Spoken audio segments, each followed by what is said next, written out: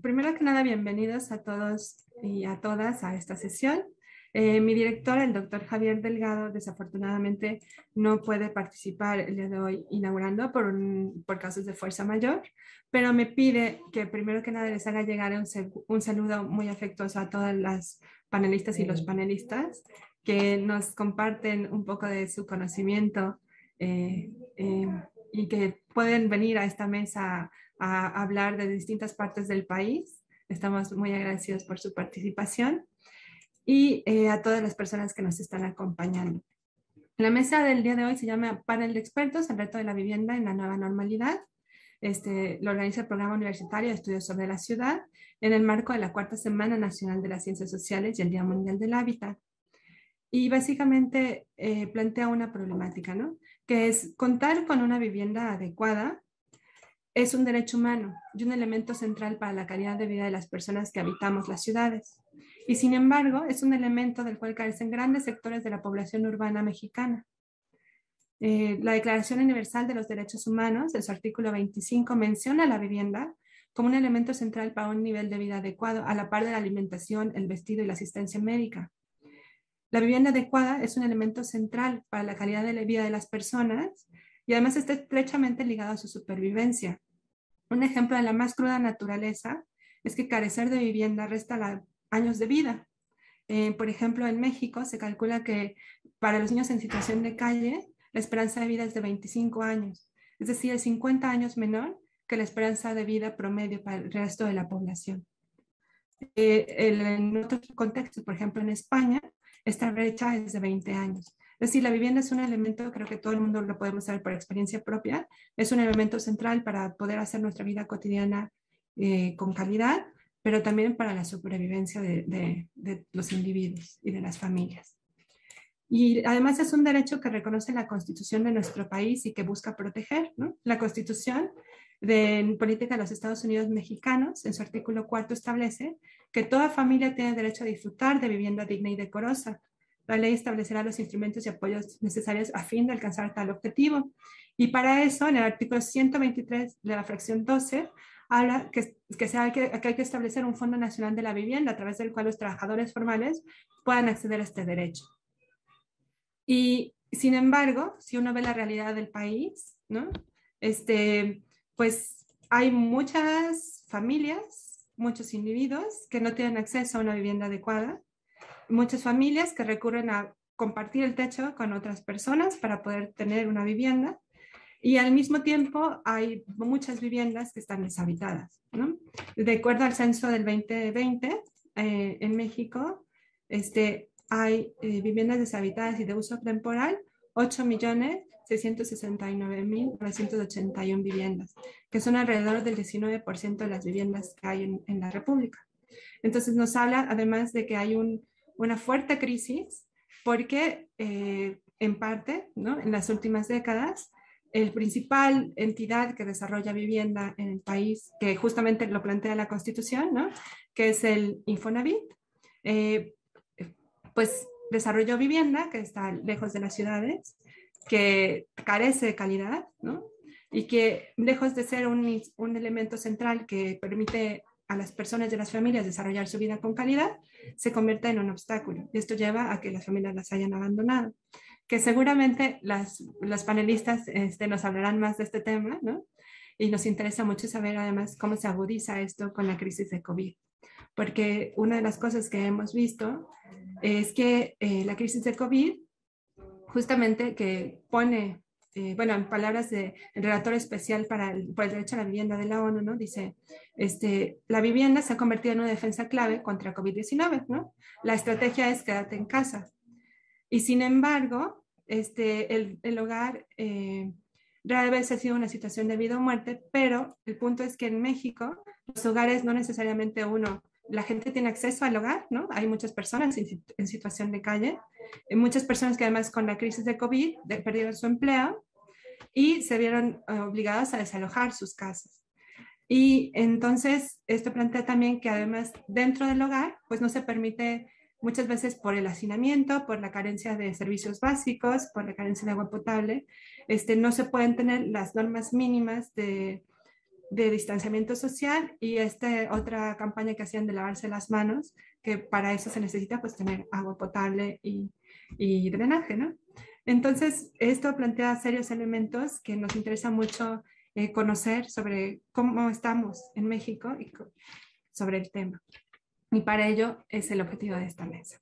Para ello tenemos a ponentes de varias partes de la República que nos van a compartir eh, justamente el conocimiento que tienen de los casos de estudio. Y me da mucho gusto, es un honor para nosotros tener a nuestra primera ponente, la maestra María Silvia Emanueli, quien es licenciada en Derecho por la Universidad Estatal de Milán, Italia, y maestra en Estudios Latinoamericanos por UNAM. Desde 2003 trabaja en la Coalición Internacional del Hábitat, en la representación de Latinoamérica, y actualmente es coordinadora de la Oficina para América Latina de dicha coalición.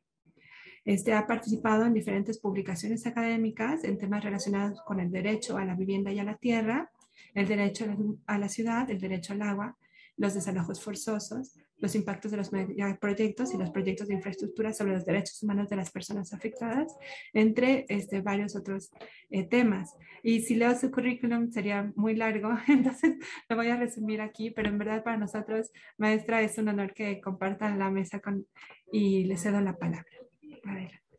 Muchísimas gracias, Mariana. Un gusto estar aquí. Gracias por la invitación eh, y un, placer también saludar a las otras y los otros eh, ponentes y al público. Eh, voy a compartir pantalla si es posible. Entiendo que tenemos mucho tiempo, o por lo menos en mi caso me dieron de 20 a 30 minutos. Espero no cansarles. Y por favor, Mariana, si me indicas cuando llegamos a los 20 para poder ya eh, ir cerrando, no alargar en exceso. Em, entonces, voy a compartir. También he tenido algunos problemas de internet, entonces, perdón, aquí salió eso. Eh, espero que no, no tener hoy justamente alguno similar. Bueno, em, yo quisiera en primer lugar empezar em, aquí con una reflexión de Enrique Leff, eh, que de alguna manera nos invita a eh, repensar de alguna forma, gracias a la pandemia que hemos enfrentado con tantas dificultades y tantos sufrimientos a nivel mundial, eh, repensar nuestras formas de actuar, nuestra forma de relacionarnos con la naturaleza, los seres vivos e incluso también ser, digamos, más atrevidos y atrevidas eh, de lo que éramos en el pasado en relación a nuestras apuestas, eh, porque la vivienda hoy, no voy a hacer diagnóstico, digamos, de en qué situación estamos, voy a intentar pensar hacia adelante. Eh, la vivienda hoy ha vuelto a adquirir una centralidad que nos permite justamente atrevernos más, pensar incluso de poder decir alta voz algunas de las cosas que eh, ya no decíamos, a menos que eh, no fuera en ambientes, digamos, de mucha confianza al interior, por ejemplo, de nuestra coalición, eh, sí nos gustaría un poco hacer esta apuesta en toda esta conversación y en, y en general nuestro trabajo está un poco enfocado a esto, si bien vemos las dificultades, ¿no? Que implica también atreverse a repensar nuestra realidad y sobre todo la economía que nos ha llevado a donde estamos, viendo que en muchos lugares del mundo se está reactivando justamente la economía, si pensamos en China, eh, de una forma que eh, no es muy diferente a la que estábamos acostumbrados a, a ver y a vivir. De todas maneras, tenemos la esperanza que algunas cuestiones se puedan eh, revisar que esta sacudida tan grande que hemos vivido pueda llevar a algunas eh, de las eh, situaciones, por ejemplo, o a, algunas de las reflexiones y posibilidades que nos recordaba hace ya varios meses em, Jordi Borja desde Barcelona, se han podido dar a partir del post Segunda Guerra Mundial, cuando se construyó el Estado social.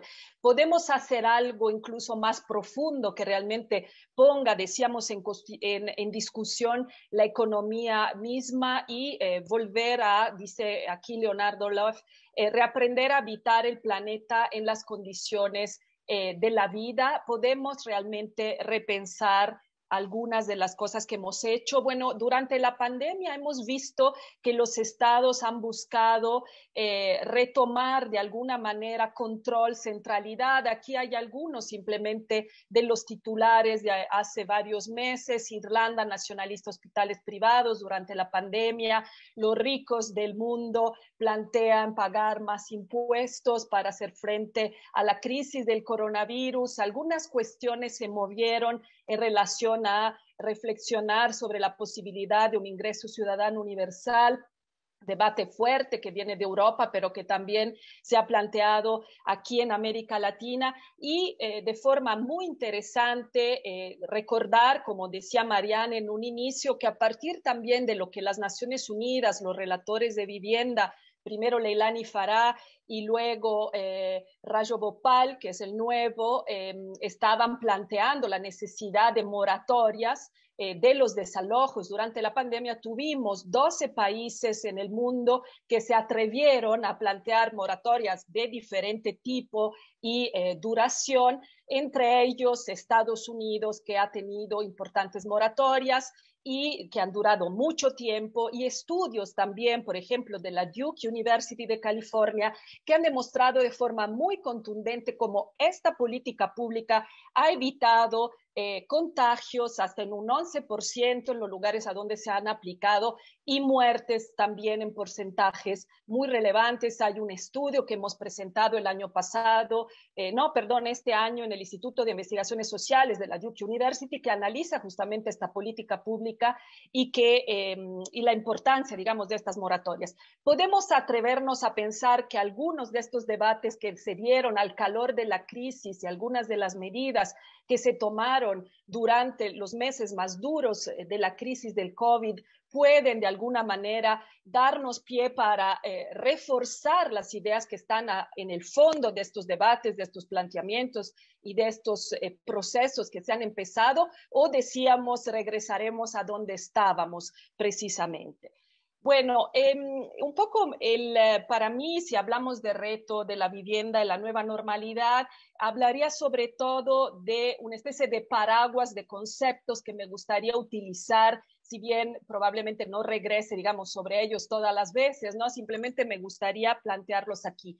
Sí creemos que el primer reto es un reto que conocemos todos y todas y es el reto del suelo si realmente no garantizamos suelo servido y central a la población, eh, independientemente de sus capacidades eh, de mm, digamos, de los ingresos eh, o eh, las características socioeconómicas, habremos probablemente perdido la batalla para eh, hacer que nuestras ciudades, nuestros territorios sean ciudades y territorios de mayor integración. El tema del suelo es un tema, sabemos, central.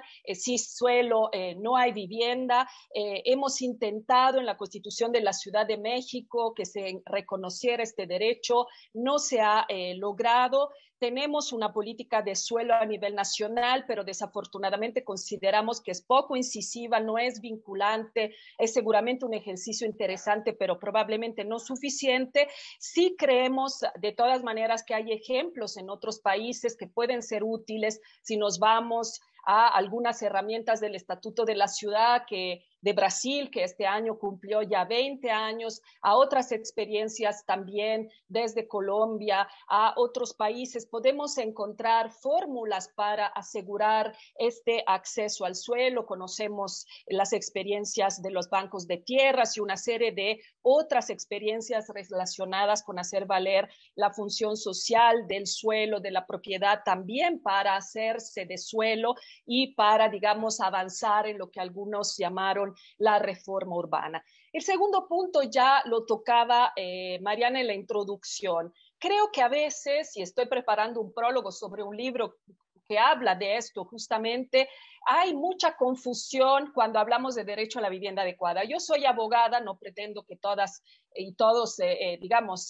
tengamos los mismos eh, conocimientos, pero creo que incluso quienes deberían tenerlos de forma muy, muy eh, profunda y puntual, como los jueces, las autoridades, en muchas ocasiones, confunden el concepto de derecho a la vivienda adecuada. Yo sé que hay muchas cuestiones, incluso relacionadas con los derechos humanos, si son realmente progresistas, si son conservadores, ¿no? Todo, todo las reflexiones que podemos hacer, pero me gustaría eh, sobre todo plantear que el derecho a la vivienda adecuada no es sinónimo de derecho de propiedad. Ustedes podrán decir, va, eh, bueno, estás diciendo, Silvia, una obviedad, pero esta obviedad, supuesta obviedad, yo creo que no lo es en el momento en el que vemos, por ejemplo, las reacciones furibundas que existen por parte de sociedad civil, de sectores conservadores, perdón, no sociedad civil, sino población a veces eh, en general, eh, algunos actores muy conservadores, pero no únicamente, en el momento en el que se plantea la posibilidad de reglamentar el alquiler. Por ejemplo, ¿Por qué estas reacciones? Porque se entiende por parte de la vivienda, que el derecho a la vivienda adecuada en realidad es un derecho a tener propiedad. Por lo tanto, lo que eso implica es que nadie puede, eh, digamos, de alguna manera reglamentar, limitar esta propiedad que hay tendencia en creer que es un derecho absoluto. Y eso no es así. Hay muchos ejemplos. No podemos construir en un terreno que compremos cualquier cosa que deseemos. Hay reglas que establecen limitaciones. Hay una serie de cuestiones que podríamos hacer alrededor de esto, pero hay mucha tendencia a entender este derecho como sinónimo de propiedad. Hay otra tendencia Ah, perdón, bueno, tenemos eh, también experiencias de intentar eh, lograr a través de juicios que una comunidad sea dotada de agua y el juez sobre qué razona. Esta, esta eh, comunidad tiene eh, propiedad absoluta, tiene los papeles, tiene la seguridad de tenencia o no. Si no la tiene, no le damos los servicios. Bueno, esta es otra consecuencia de entender el derecho a la vivienda como sinónimo de propiedad, mientras que no es tan sencillo llegar a esta conclusión y si realmente comprendiéramos los derechos humanos, esta no debería ser la salida. El segundo tema es que tampoco el eh, derecho a la vivienda es sinónimo de producción de casas. Se habla mucho del Infonavit, se habla mucho del Fobiste, de lo que han hecho. Seguramente han hecho un trabajo importante con todos los límites que ya Mariana mencionaba en la introducción, pero eh, no, digamos, el derecho a la vivienda no se satisface únicamente cuando el Estado garantice el acceso a un crédito, a un subsidio para adquirir viviendas nuevas en propiedad al sector, del sector, para el sector asalariado, eh, ya que el crédito hipotecario realmente no está pensado para los más pobres, que siguen quedando fuera, como sabemos, de esto y que muchas veces no son asalariados.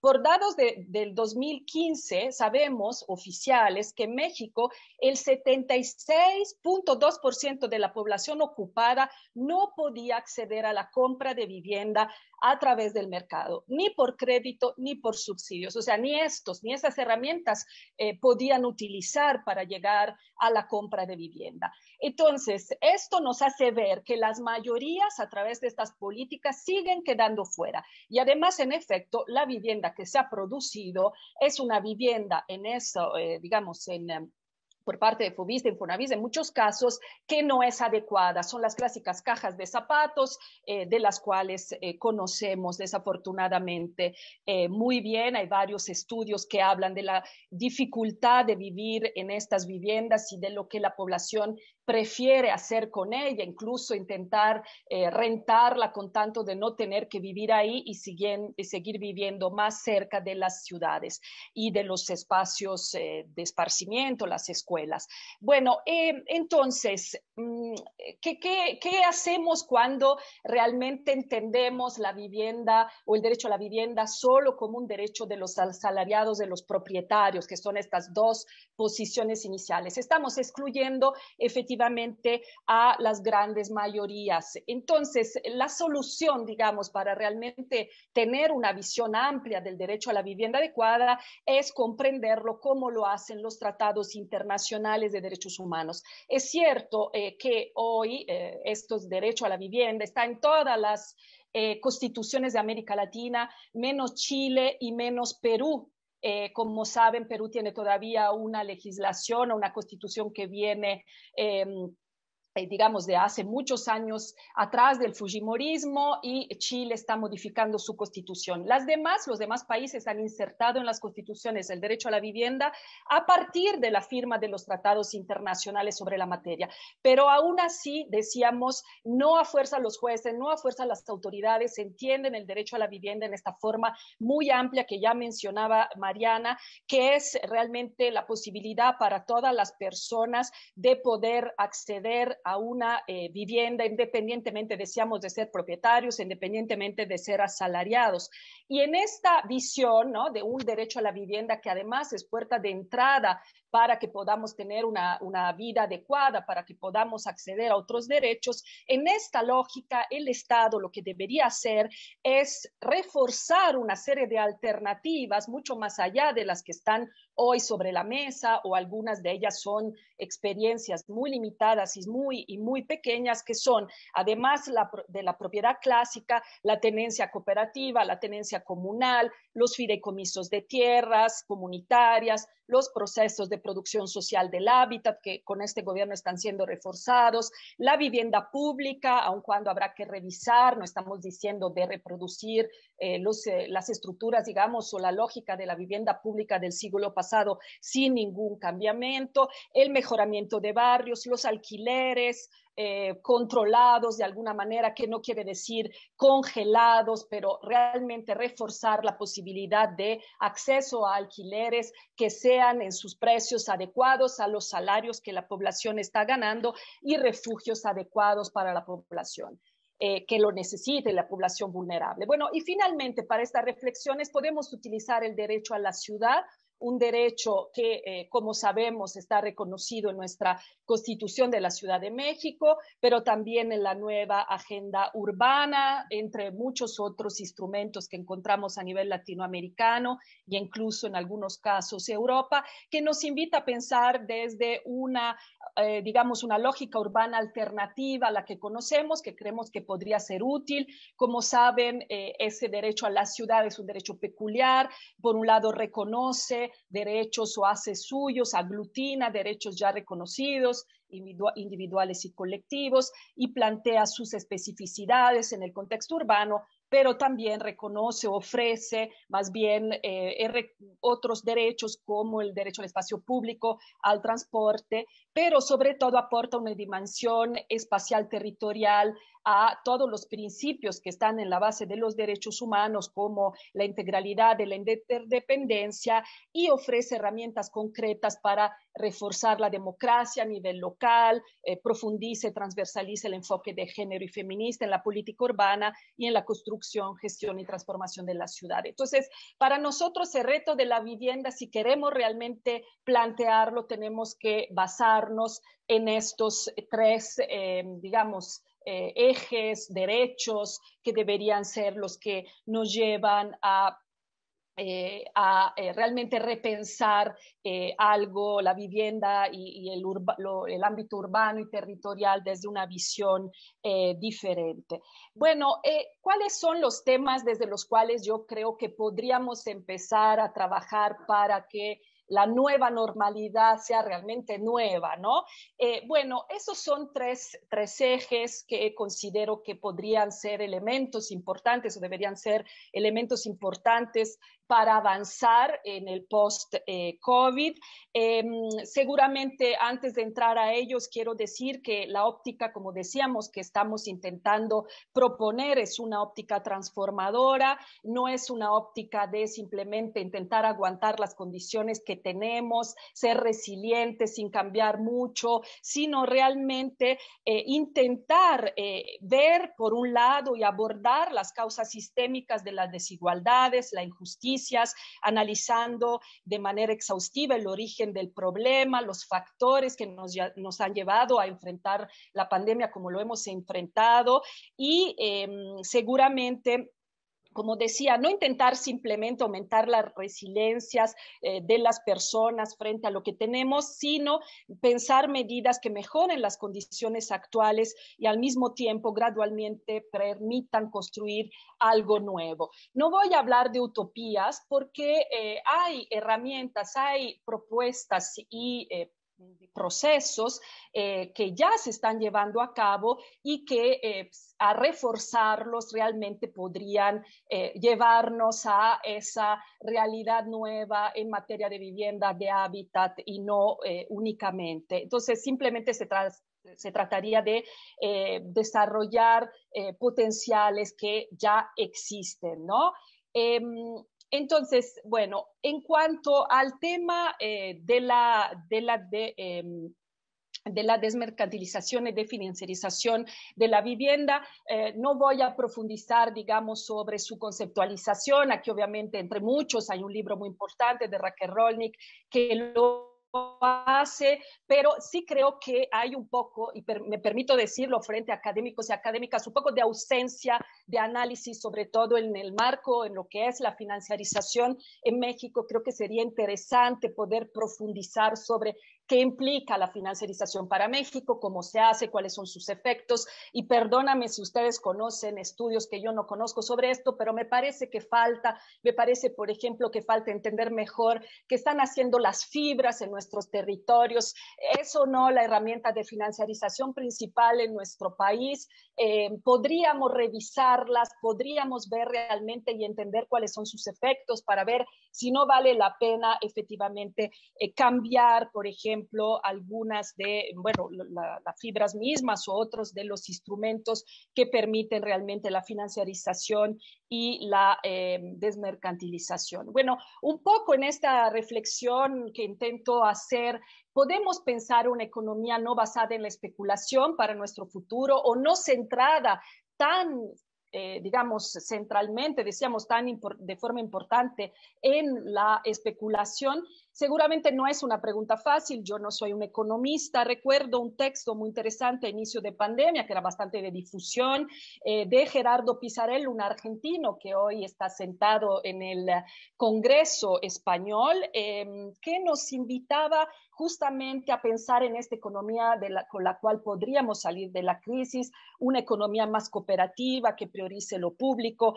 lo común, que se plantee la revisión urgente del calentamiento global, las desigualdades sociales eh, y que efectivamente permita potenciar las actividades económicas esenciales que se vieron tan importantes para reaccionar a la pandemia, ha mostrado su centralidad, eh, que pueda reforzar las productivas sostenibles eh, que se deberían preferir sobre las depredadoras y especulativas. Eh, Gerardo nos invitaba a repensar el, el, desmantelamiento de sectores enteros de la industria, ¿no? estaba planteando en su texto no regresar, digamos, a las chimeneas con contaminantes del pasado, pero sí evaluar una posible reindustrialización eh, orientada a sectores con alto impacto ecológico, por ejemplo, una serie de planteamientos. Y, y justo Gerardo Pizarello nos decía, ¿por qué no profundizar, como empecé un poco al inicio de la ponencia, eh, no profundizar algunas de las cosas que sí han sido posibles durante la pandemia, como decíamos,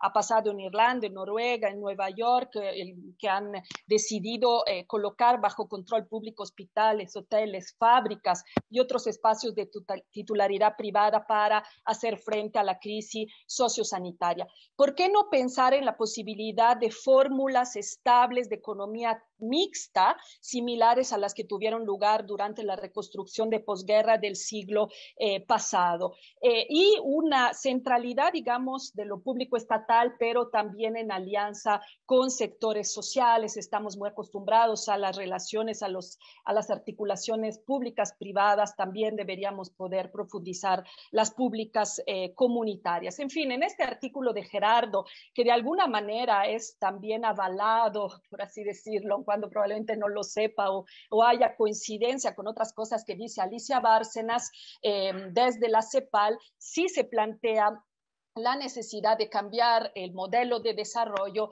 y la eh, conversación, por así decirlo, que existe entre Estado, mercado y eh, sociedad. Entonces, en este sentido, para que la vivienda no siga viéndose como una, una mercancía se siga profundizando la financiarización, obviamente necesitaríamos una economía que no tampoco se fundamente en la especulación y que eh, nos permita dar pasos importantes en ese sentido de quitar eh, del mercado la vivienda. No toda probablemente, pero sí una buena parte eh, de ella. Seguramente la mercantilización de la vivienda no es una novedad de los últimos años pero ha tenido eh, una expansión especialmente significativa eh, recientemente. Hay una serie de preocupaciones también en relación, decíamos, con el concepto de financiarización.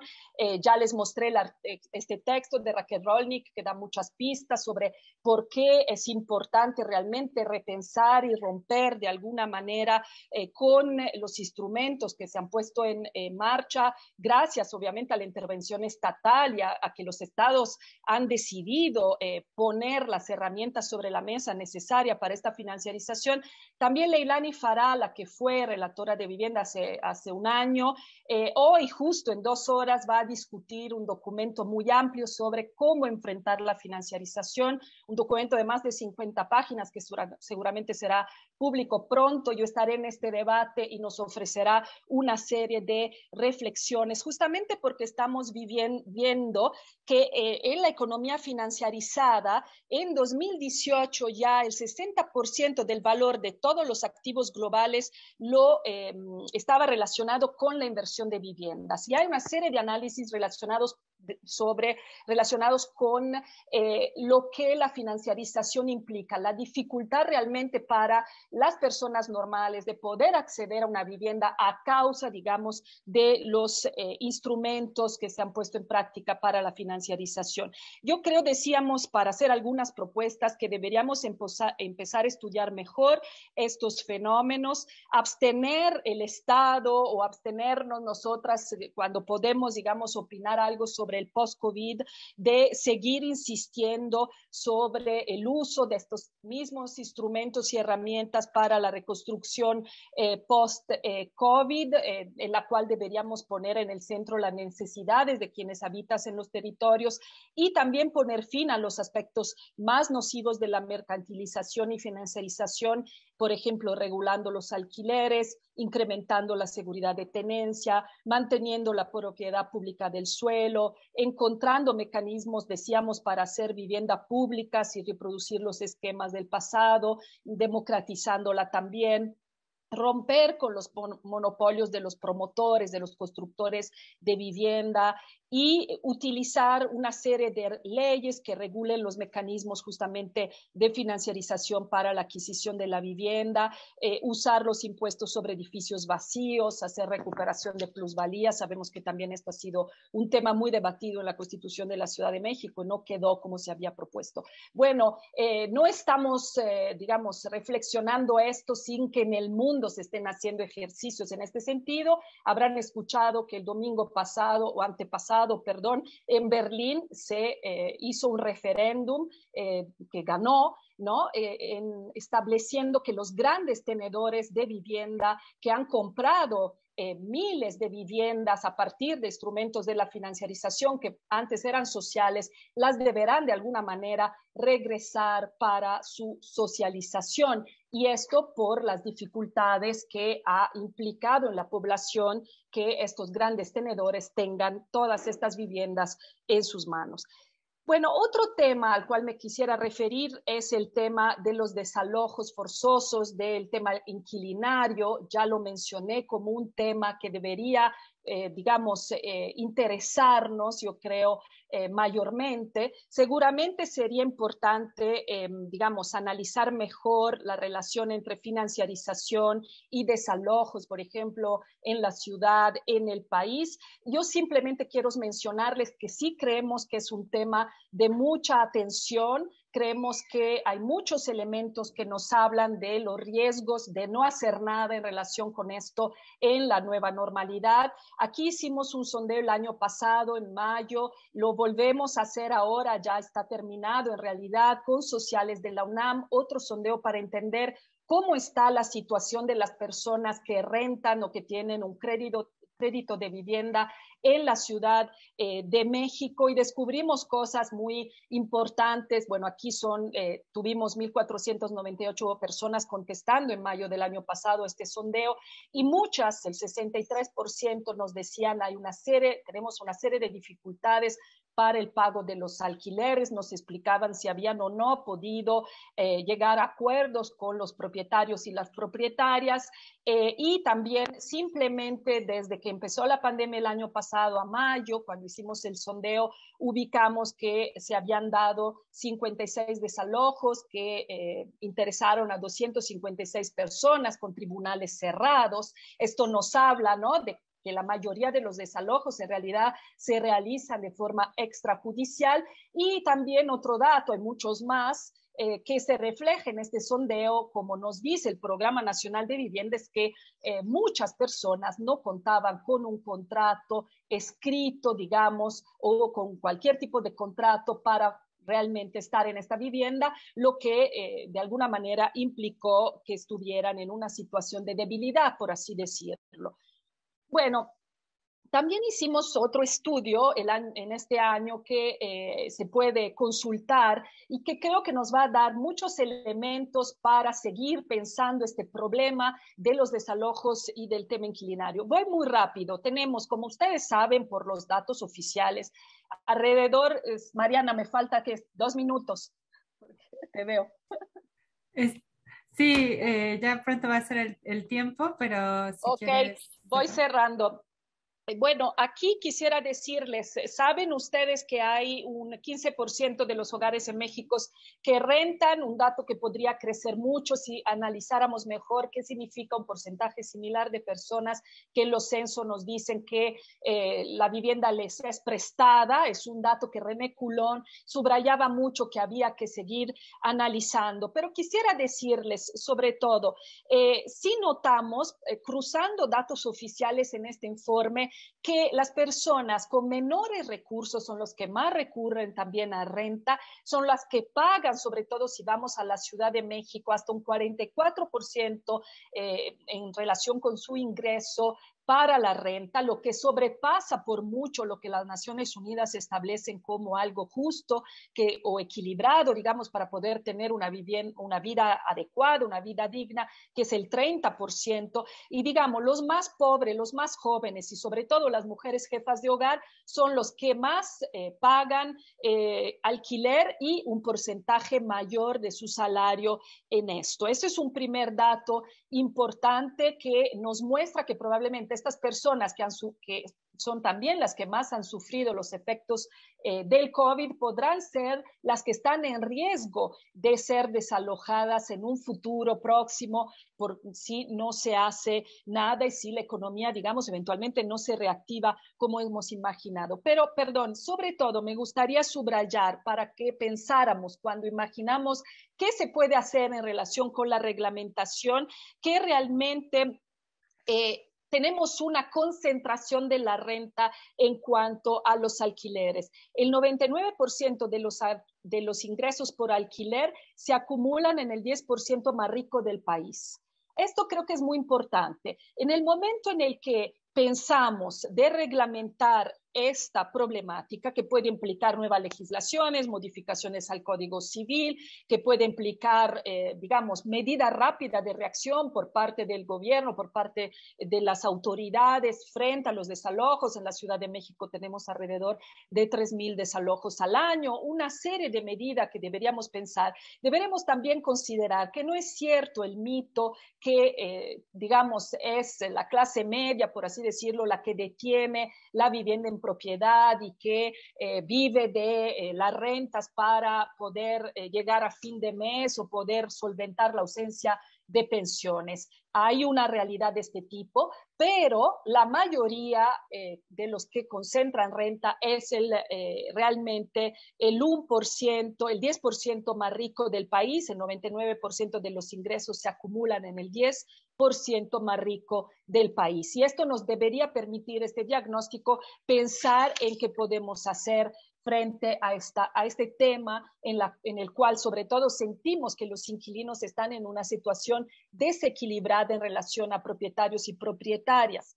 Finalmente, para terminar, no voy a profundizar sobre esto, pero sí, porque ya me terminó el tiempo, sí creo que o creemos que la reactivación post-COVID debería darle mucha mayor centralidad también al mejoramiento barrial, no tanto hacer más viviendas nuevas, más de lo mismo, como decíamos, es en los lugares eh, donde no hay, digamos, situaciones de mejoramiento barrial adecuadas, en los barrios informales, eh, que no nos, no nos gusta llamarlos así, pero en fin, donde se ha concentrado más, se han concentrado más los contagios por coronavirus.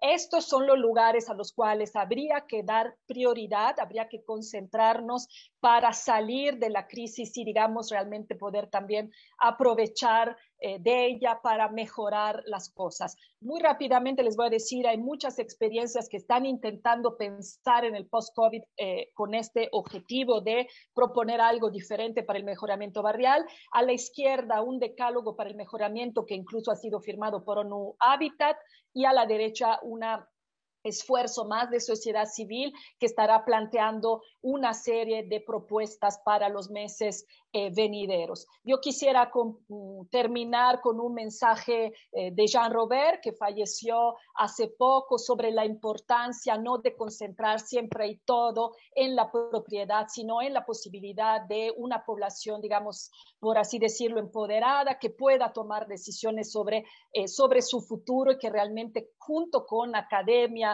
autoridades, pueda cambiar la realidad que tenemos. Y muchísimas gracias y perdón por quizás la rapidez de la, de la presentación. Muchas gracias. Muchísimas gracias, maestra. Fue muy interesante y definitivamente plantea, eh, además del panorama, plantea posibilidades de transformación, ¿no? Y que vale la pena este, explorar. Pues, eh, sin más, por el tema del tiempo, le paso, eh, voy a presentar a los siguientes ponentes que van a hablar del caso de Tijuana. Ok, buenos días a todos. Voy a empezar a compartir pantalla. Ay, perdón.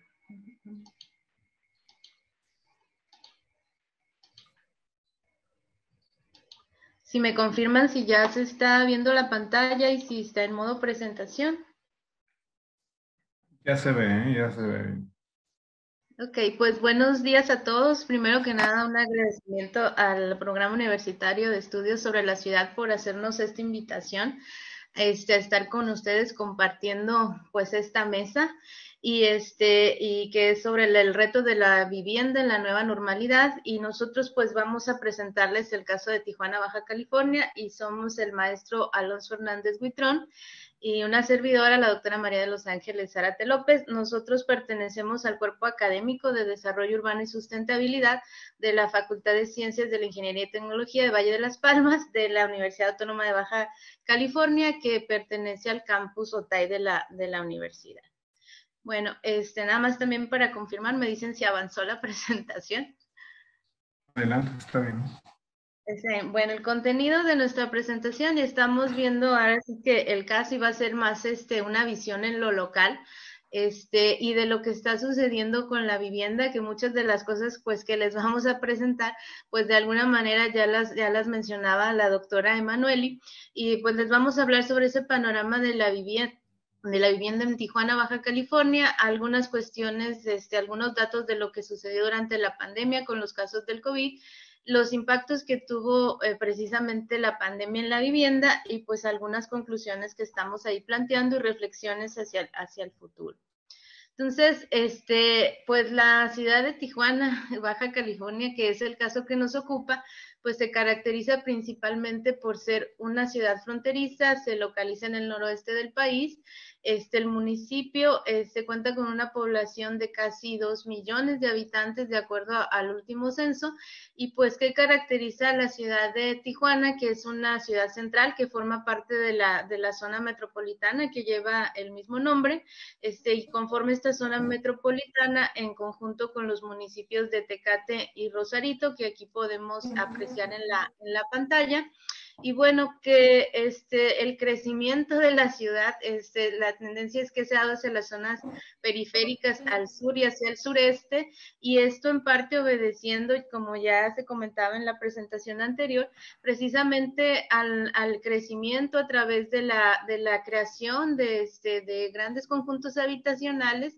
que han seguido esta política este, de otorgamiento de crédito, ¿no? Entonces, esa es la, la situación de Tijuana, que no es exenta parte de esta problemática que ya se estaba mencionando.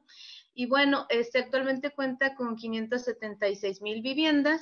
Este, en 2015 el promedio era de 3.4 personas por vivienda, este, que diferenciado en algunas zonas de la ciudad, la presa, la delegación La Presa, este, eh, que se encuentra del lado oeste, este, pues representaba el 3.8 por, 3.8 por, perdón, 3.8 personas por vivienda y actualmente, este, en 2020, pues son 3.3 personas por vivienda. Entonces, algunos datos de lo que está sucediendo, podemos apreciar más este, de cerca lo que es la estructura de la ciudad y pues la condicionante más importante que les mencionaba, pues es que es una, una ciudad fronteriza, este, que en 2015 el 30 0.5% de la vivienda pertenece al segmento popular, el 25.7% a la vivienda tradicional, el 13.3% a la vivienda económica y el 19.8% restante vivienda residencial.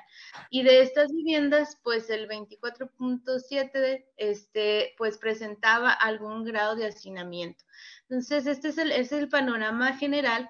La ciudad pues ha crecido, este, sobre todo este, a través de estos procesos que les mencionaba, de la creación de nuevos conjuntos habitacionales, pero también a través de la formación de asentamientos irregulares. Es una de sus características también más importantes, este, que vamos nosotros también a platicar un poquito sobre eso. Y bueno, en cuanto a la cobertura de servicios en la ciudad, pues en general tenía una alta cobertura este, los servicios, alrededor del 98.2% de las viviendas pues disponía de agua entubada dentro y fuera, así como también drenaje y el 99.6% este, disponía de la cobertura este, de energía eléctrica.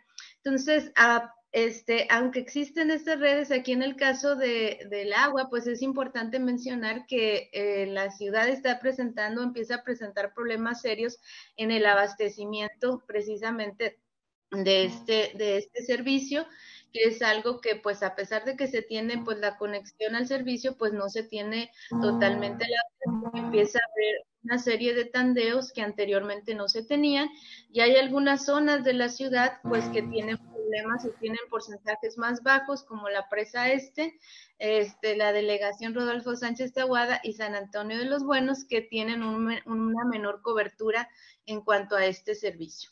Y bueno, estos son los elementos que estamos mencionando, pues porque tienen que ver directamente con las condiciones que requiere la población para o que eh, fueron este, importantes para la población para poder afrontar la pandemia este, que estamos ahorita todavía entonces, en cuanto a los asentamientos irregulares, les mencionaba que hay más de 100 este, zonas consideradas como tal, aunque pues parte del proceso del crecimiento de la zona urbana pues se ha visto marcado precisamente por la conformación de este tipo de asentamientos y se considera que son alrededor de 300 mil predios, de los cuales 27 mil predios pues no son factibles de regularizarse, ya que se encuentran en zonas este, que son de alto riesgo. ¿no? Entonces este es el panorama en general de la ciudad y es así como pues la este precisamente este se dio ante este concepto este bueno ante este contexto esta pandemia no y algunos de los pues elementos históricos que hemos encontrado este o datos históricos de esta pandemia este, pues tiene que ver con la, el inicio a los seis meses, pues la concentración de algunos de los casos o los casos en ciertas zonas este, de la ciudad, en las zonas periféricas, algunas este, de las colonias que aparecen aquí, como la de Camino Verde, que aparece en la parte central, este, en la parte sur, pues son de las colonias colonias populares este, que presentan condiciones, altas condiciones también de marginación y este, salvo también aparece la zona al centro, que es la zona río, este, que pues ahí por la concentración de la actividad económica, pues seguramente por eso se estuvieron manifestando, pues ahí esa concentración de casos. Y bueno, ahorita un poquito ya la, la dispersión este, de, estos, de estos casos en la ciudad y pues en el contexto de Baja California, este, pues se tuvo, se ha tenido alrededor de 61.583 casos este, detectados de COVID, con este, 9.422 fallecimientos. En el caso de Tijuana, este, no alcanzó fueron alrededor de 17.000, si no me equivoco, y con 3.613 fallecimientos. Entonces, aquí lo que me gustaría también mencionar de los impactos este, o de cómo se vivió la pandemia en la ciudad, pues uno de los impactos más fuertes fue el cierre precisamente de la, de la frontera. Mucha de la gente que vive en Tijuana, este, pues trabaja este, en Estados Unidos, entonces ante el cierre de la frontera, pues esto generó pues un caos y un impacto fuerte. Además, mucha gente también, este, pues, eh, en un momento dado compra lo que serían sus bienes, este, o su, este, pues comida, ropa, este del otro lado de la frontera. Entonces, pues esto ha generado el cierre precisamente que se mantiene.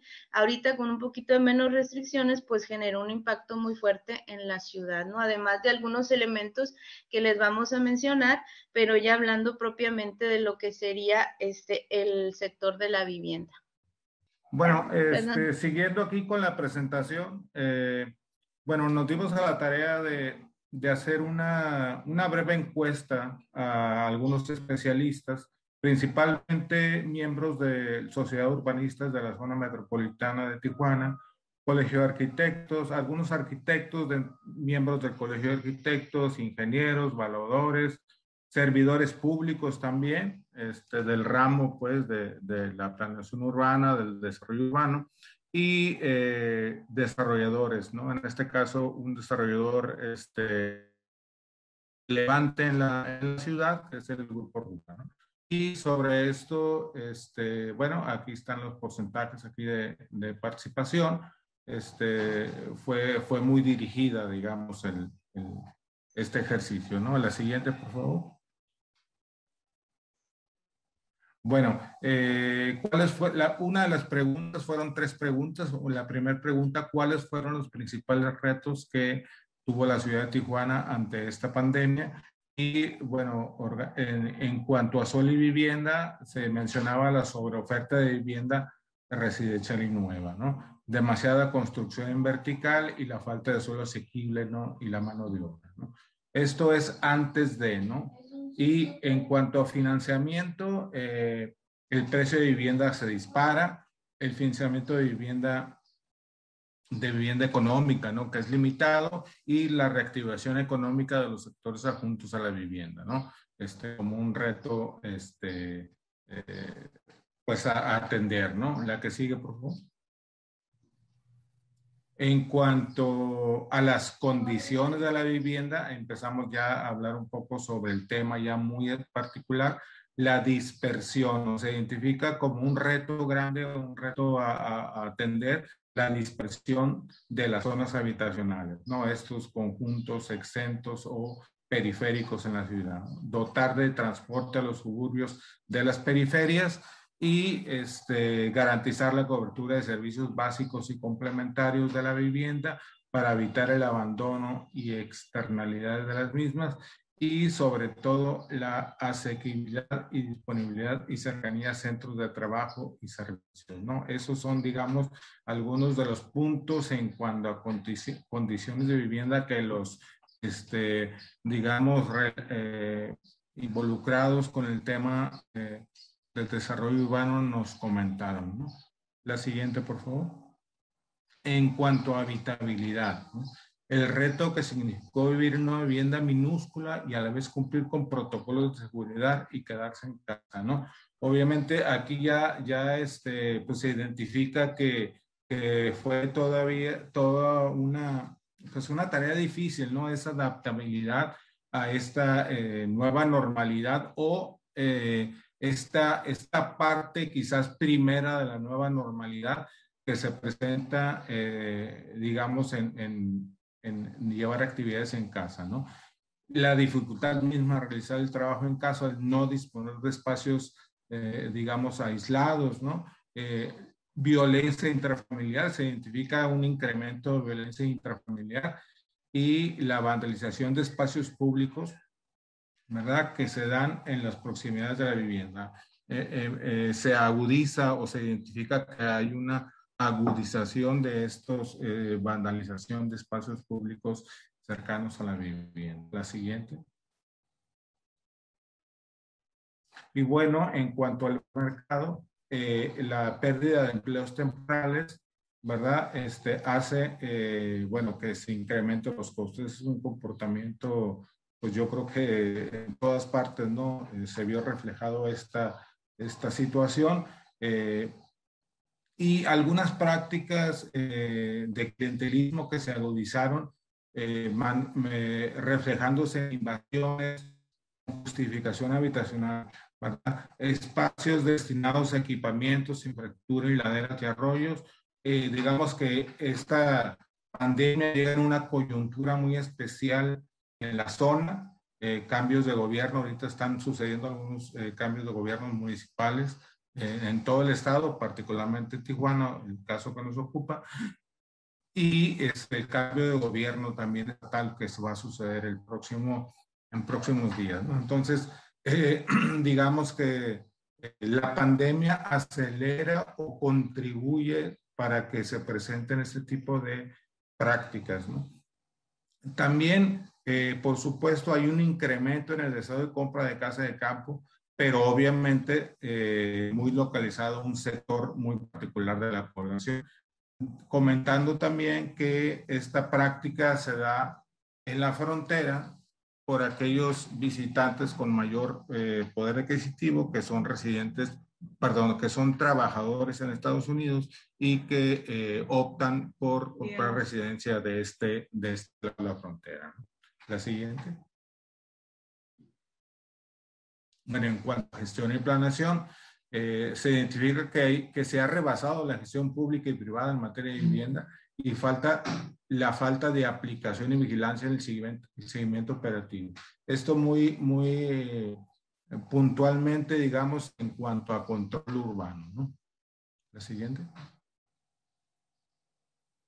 Y bueno, te, cedo. Bueno, pues, este, bueno, y en cuanto a los cambios, estrategias que se plantea discutir por parte también ahí de los actores locales, pues son las, las siguientes.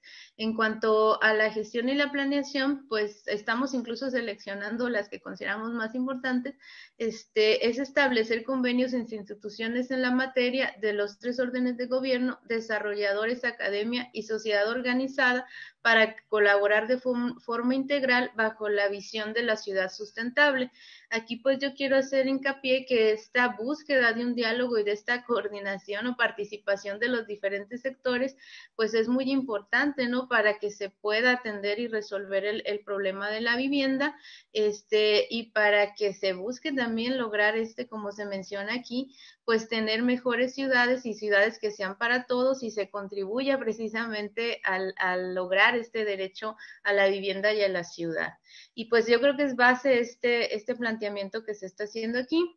Y bueno, este, gestionar centros y subcentros especializados integrales al interior de la ciudad vinculados a las zonas habitacionales para mejorar el entorno urbano y calidad de vida de la población como soporte, entre otras cosas, para hacer frente o mejor frente a la pandemia, ¿no? Entonces, aquí también nos parece muy importante mencionar la visión que se debe de generar de la vivienda, no como un elemento aislado, sino como un elemento que es parte de la ciudad y requiere no solo de la infraestructura básica, sino de contar con todos los servicios de equipamiento que en un momento dado, pues, permitan, este, o mejoren la calidad de vida de la, de la población. Entonces, está atendiendo a lo que se está mencionando este, pues desarrollar vivienda asequible en cuanto a financiamiento, promover el incremento del salario en general y pues también traer mejores oportunidades de empleo a la ciudad. Esto es promover también parte de la inversión Y este, en cuanto a la vivienda y suelo, considerar una mayor superficie de terreno para favorecer un crecimiento este, de la misma vivienda de la construcción que va a ir edificando el propietario este, y que esto pueda ser también subsidiado por el gobierno. Y la vivienda pues debe tener espacios abiertos, debe considerarse la construcción vertical y los usos mixtos. Y en cuanto a la habitabilidad, pues se habla que sin duda debe de haber un cambio en el diseño. Este, obviamente, pues la demanda por espacios más amplios es muy este, clara este, ahorita con el trabajo en casa y con la escuela también en casa, pues hay otras necesidades que pues es un reto poder proveer un, de, este, de mayor este, pues espacio este, a la población en su vivienda.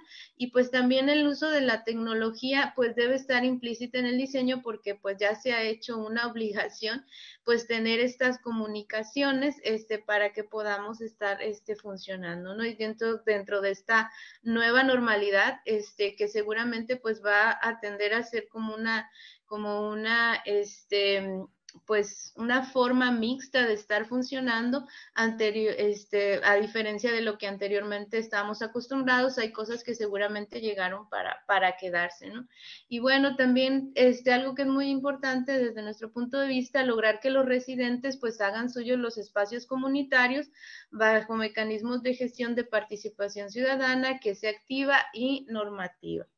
Entonces también esto es, es muy importante y ahorita con la, pues volver a la nueva normal, a esta normal, nueva normalidad y, este, y empezar a, este, a reutilizar el espacio público, pues eh, creo que ahí está cobrando una importancia este, que tiene que ver sobre todo también con la, con la salud de la población, este, al hacer uso de estos espacios comunitarios o estos espacios para recreación, deportivos, eso es algo que está también por ahí este, surgiendo.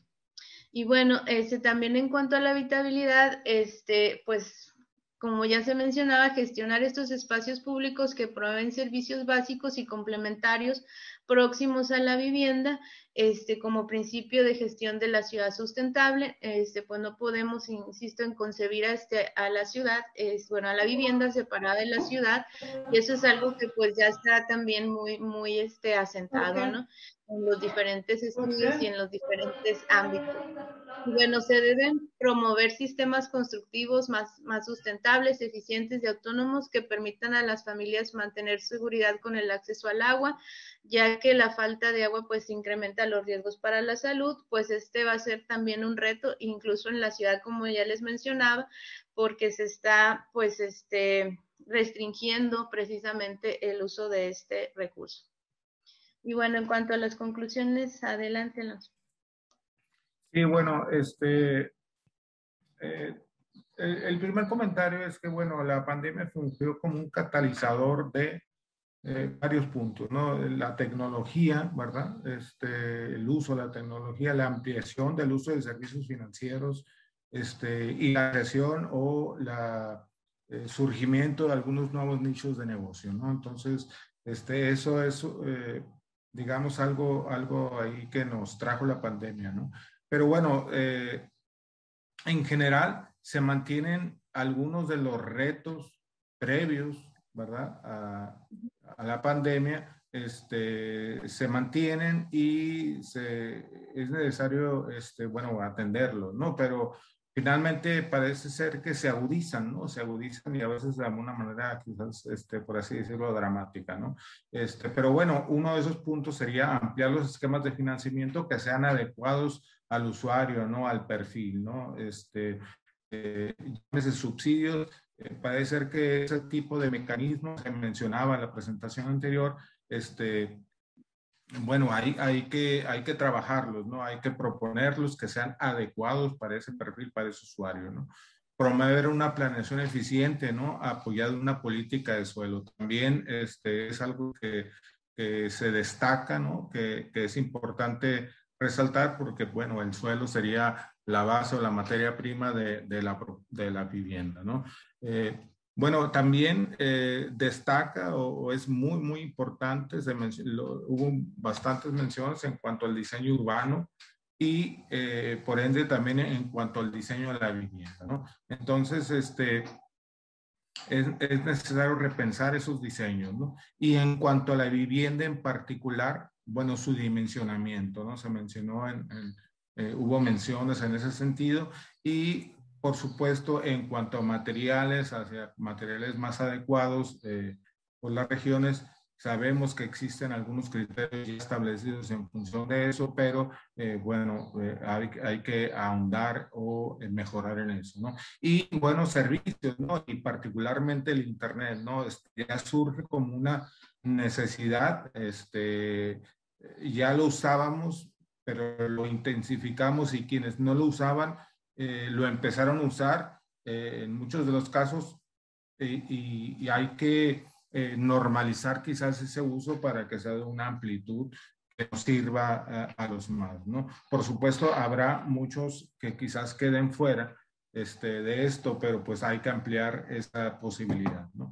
Y, y, algo que, que, siempre es un complemento adecuado y por supuesto deseable, este, el transporte, ¿no? Lograr un transporte sustentable que te ayude a conectarte, ¿no? En la ciudad, ¿no? La siguiente, por favor. Este, y algunas de estas estrategias y acciones, ¿verdad?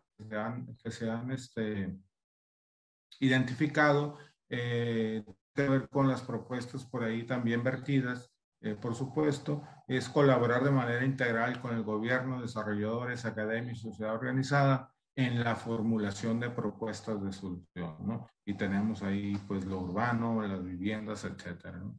fortalecer y fomentar la generación de centros y subcentros especializados integrales el interior de la ciudad vinculados a las zonas habitacionales, hacia una mejora del entorno urbano y la calidad de vida de la población. ¿no? Se ha mencionado también esta, esta cuestión barrial ¿no? comunitaria, ¿no? que hay que, esta, esta dimensión ¿no? que hay que atender. ¿no? Gestionar eh, una norma de habitabilidad de vivienda que plantee mínimos suficientes para el desarrollo adecuado de la función habitable. ¿no? Eh, no se cuenta con una norma como tal, al, parecer hay algunos eh, proyectos, ¿no?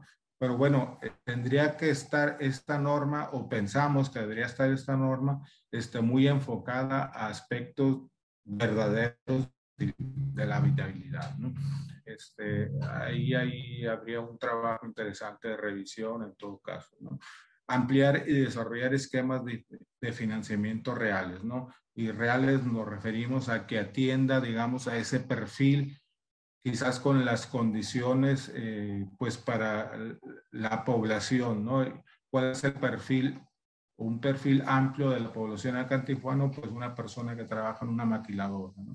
Entonces, este, tendrá que haber esquemas eh, que favorezcan, digamos, este, ese, ese perfil, ¿no? Y, por supuesto, la sustentabilidad energética y de infraestructura para la vivienda social. Esas serían las conclusiones. La siguiente, por favor. Y bueno, este, aquí un, un, ejemplo un poquito de, de, lo que está pasando o que nos trajo la pandemia en la ciudad. ¿no? Muchísimas gracias.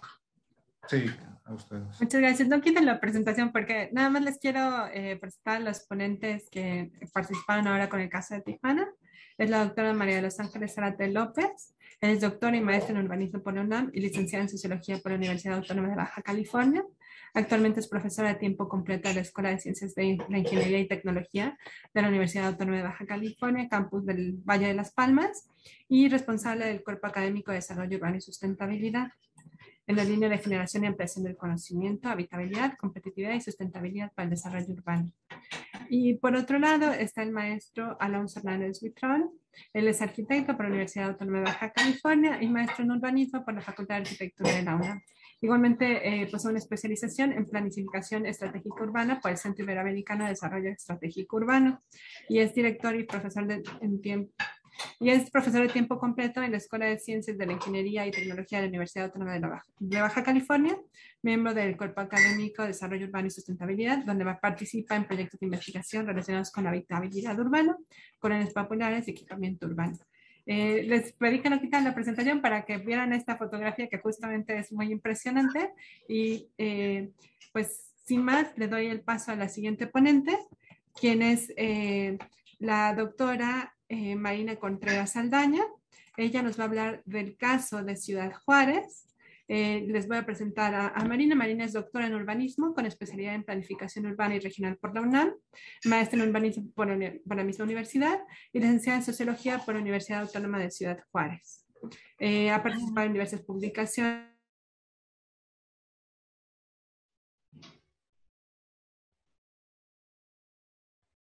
Ah,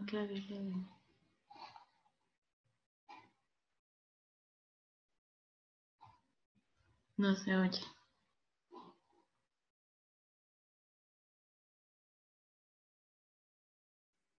Eh, yo también dejé de escuchar a Mariana.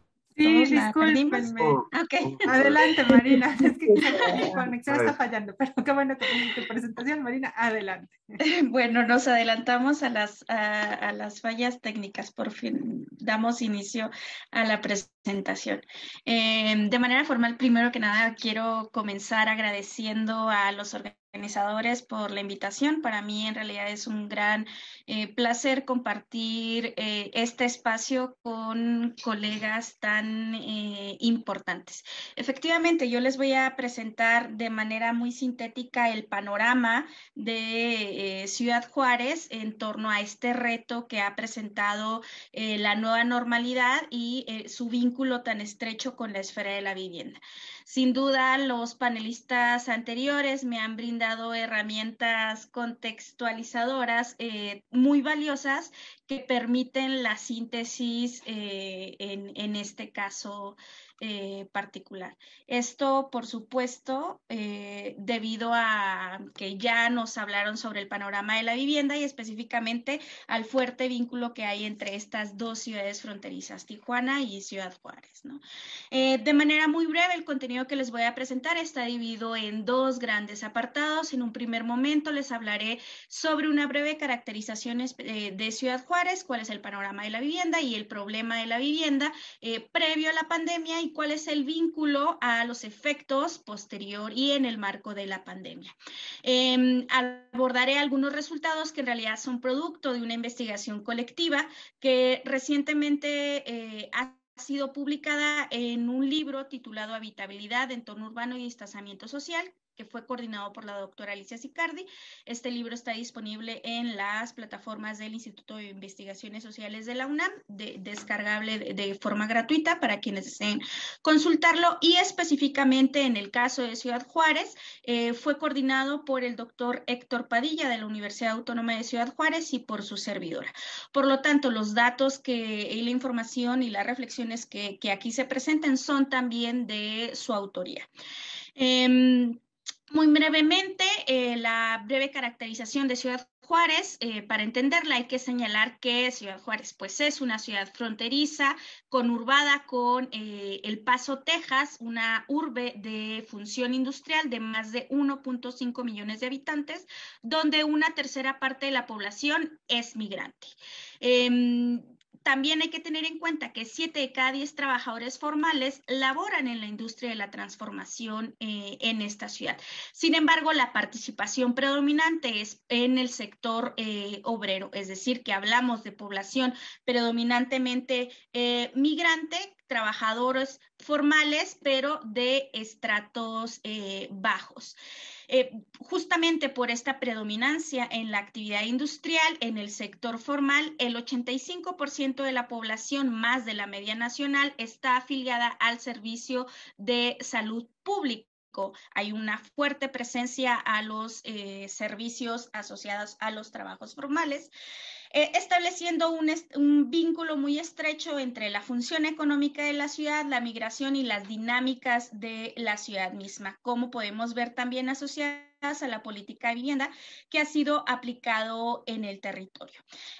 Es que encontramos en la ciudad em, que una fuerte participación y aplicación de la política eh, habitacional de, interés social promovida posterior del año 2000. Obviamente esta política habitacional de, corte eh, financiarizado, de la que ya nos hablaban previamente, Eh, pues entre el año 2001 y 2010, tan solo en 10 años se construyeron 150 mil viviendas nuevas para los trabajadores formales que arribaron por las corrientes migratorias em, en la ciudad. Es decir, que tan solo en 10 años se construyó el 30% del parque habitacional actual de la ciudad. Hablamos entonces de nuevas dinámicas em, que transforman la las dinámicas de, socioterritoriales de la ciudad. De tal suerte que más de la mitad de las colonias en el 2017 son fraccionamientos, la mayoría de interés social y muy pocos de ellos residenciales. Em, otros de los datos que nos arrojan el censo del 2020 es que 7 de cada 10 viviendas de eh, esta frontera son viviendas propias, pero la mitad en realidad aún se están pagando para el 2019, más de 120 mil viviendas se estaban pagando por medio de un crédito Infonavit, que representa cerca del 27% de las viviendas eh, actuales de la ciudad. Es decir, que sí hay una fuerte participación de viviendas propias, pero viviendas propias asociadas a las dinámicas de la deuda, que es eh, eh, muy relevante en el contexto de la pandemia, donde el ingreso y la deuda justamente juegan un papel crucial. No obstante, es necesario señalar que el problema de la vivienda en Ciudad Juárez y en México tiene eh, sus antecedentes eh, eh, muy establecidos que vienen a agudizarse en el contexto de la pandemia, como bien ya lo mencionaron los panelistas anteriores. Se ha hablado de la importancia de los criterios de habitabilidad, de las deficiencias en la calidad de la vivienda, de los problemas de la ubicación aislada y de la carencia de equipamientos, infraestructura y servicios, los cuales específicamente en el caso de Ciudad Juárez tienen un estrecho vínculo con, el, con la fuerte presencia de la vivienda deshabitada en la ciudad. Esta ciudad, eh, Juárez, ha sido reconocida como el municipio en varias ocasiones del país con más viviendas en carteras vencidas a nivel nacional. Es decir, tenemos una muy fuerte participación de la política habitacional financiarizada eh, del país, pero también tenemos un fuerte fracaso de esta política en materia social porque resalta la incapacidad de eh, un fuerte sector de la población por continuar con el pago de estos créditos. En el año del 2010 eh, se registraban más de 100 mil viviendas deshabitadas en la ciudad que, representan un, que representaron en su momento una cuarta parte de todas las viviendas de la ciudad se encontraban sin habitantes. Eh, para el año 2020, estas viviendas se redujeron a 56 mil. Sin embargo, sigue siendo un porcentaje muy alto y un número significativo de, de viviendas deshabitadas en la ciudad. Por su parte, la cartera vencida de Infonavit en el año 2019 representó un valor de más de 3.500 millones de pesos, es decir, que la población que tenía imposibilidad de pagar eh, hasta el año 2019, eh, perdón, debía, eh, su deuda ascendía a más de 3.500 millones de pesos. El instituto, em, el Infonavit también se vio en la necesidad de otorgar algunas prórrogas a los cuarenses para que pudieran continuar conservando su crédito de vivienda. Eh, la deuda de estas prórrogas ascendía a más de 1.200 millones de pesos. Es decir, que tenemos con un antecedente de una política financiera que, em, que no necesariamente ha demostrado dar eh, indicios de certidumbre para todos sus em, eh, usuarios. Esto se vincula con, con un, algunos efectos de la pandemia de las que ya nos hablaron. En el contexto fronterizo tenemos que hablar sin duda del cierre de fronteras, específicamente en, el estado de Chihuahua y en Ciudad Juárez, sobre los límites de circulación que sí se establecieron, em, desarrollando una serie de estrategias que multaba a la población que, que circulaba en sus vehículos con más de dos usuarios. Y con un llamado a trabajar en casa, pero con poca posibilidad de hacerlo, pues la industria manufacturera nunca cerró. Eh, viéndose reflejado en altos niveles de contagio, de letalidad, de brotes comunitarios en los centros de trabajo que sin duda configuraron nuevos, eh, nuevos escenarios de, conflictividad eh, social. Algunos de los resultados de los que hablaré están, más bien, la totalidad de los resultados de los que les hablaré son resultado de la aplicación del cuestionario Condiciones de Habitabilidad de las Viviendas y del Entorno Urbano ante el aislamiento impuesto por el COVID. Este cuestionario fue aplicado por, eh, por el equipo de trabajo que les mencionaba, en el cual participan varias universidades y se hace un análisis de ocho eh, ciudades del país logrando la aplicación eh, de manera virtual de más de 7.000 cuestionarios en ocho ciudades mexicanas, de las cuales 721 fueron aplicados en Ciudad Juárez algunos de los resultados encontramos que efectivamente eh, logramos captar eh, la diversidad de las formas de tenencia que hay en la ciudad, de población que residía principalmente en viviendas propias totalmente apagadas por casi la mitad de las personas que respondieron el cuestionario, em, población que residía en viviendas propias que aún se están pagando en una tercera parte de las personas que contestaron y viviendas rentadas por una de cada diez personas. Encontramos a partir del registro de estas dinámicas eh, eh, la, diversidad eh, correspondiente a las formas de tenencia de la vivienda encontrando entonces que si bien no hablamos de una muestra representativa, por las lógicas metodológicas que, la representatividad misma em, tiene, sí captamos una diversidad de em, escenarios y de eh, tipos de propietarios de la vivienda. Como parte de los resultados que destacan sobre las actividades en la vivienda, en seis de cada diez viviendas hay personas que trabajan en línea, mientras que en la mitad de las viviendas se aprende eh, en casa y se hace ejercicio. Sin embargo, resaltan tres problemas principales. En primer lugar, eh, la población tiene problemas para proveer alimentos en seis de cada diez viviendas, esto debido a los recortes eh, de los salarios, a las reasignaciones de las jornadas eh, laborales y también a las pérdidas de empleos que se vieron afectados no solo en esta ciudad, sino también en, en el país. Además, hay problemas para realizar alguna actividad laboral en seis de cada diez casos. Y es que recordemos que eh, la principal actividad laboral en la ciudad es una actividad manual que es, es imposible de hacer desde las viviendas, por lo cual seis de cada diez, en seis de cada diez viviendas no existía la posibilidad de quedarse para trabajar en casa para al menos un integrante de la familia. De la misma forma, em, hubo problemas para salir a caminar y hacer deporte en casi cuatro de cada diez respuestas, pues ya conocemos el antecedente de la producción de eh, el contexto de eh, estos fraccionamientos producidos en serie que carecen de espacios para la recreación y el esparcimiento. Eh, de la misma forma, esto posee un estrecho vínculo con, em, con que más de un, cerca de una tercera parte de las viviendas en la ciudad no poseen computadoras ni internet. Entonces, se está mandando a la población o se pretende mandar a la población eh, a trabajar en casa y a estudiar desde casa, pero muchos de ellos, por ser de estratos bajos, no poseen eh, el acceso eh, necesario a los insumos que esta actividad requiere.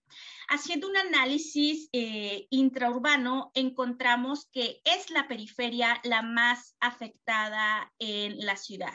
Em, esta periferia, por ser la periferia empobrecida, donde hay un menor acceso a parques y espacios públicos, donde hay, un, hay una concentración de población con menor nivel educativo y con menor ingreso, Em, es caracterizada por dos grandes periferias. Una se encuentra en el poniente y otra en el suroriente. Encontramos una muestra de 346 colonias, obtuvimos respuestas de población residente de 346 colonias de la ciudad, lo cual nos habla de eh, la diversidad. Específicamente eh, en el poniente hay población que eh, reside población con ingreso dependiente principalmente de su trabajo diario, población que participa de la economía informal, que donde hay una eh, menor certidumbre en sus ingresos. Aquí la población tiene eh, viviendas con eh, una mayor amplitud, sin embargo, estas viviendas presentan problemas para mantener la salubridad y el aislamiento de sus habitantes. Em, aquí la población señaló tener más problemas para generar justamente condiciones de salubridad y también es la zona donde menos conocen el teléfono para recibir información sobre el COVID. Eh, por otra parte, el suroriente es la periferia formal producida en el marco de la política habitacional eh, financiada por el Estado, donde eh, señala a la población que tiene una mayor, eh, una mayor concentración de problemas para proveer alimentos, una mayor concentración de problemas para realizar actividades laborales desde casa, no solo por el espacio de la vivienda, sino por su actividad económica predominante que les impide quedarse en casa y también donde sí hay problemas para compartir eh, el, mismo espacio. Por supuesto, esto asociado a las condiciones de viviendas mínimas que no proporciona em, espacios para eh, todos sus usuarios y sus habitantes.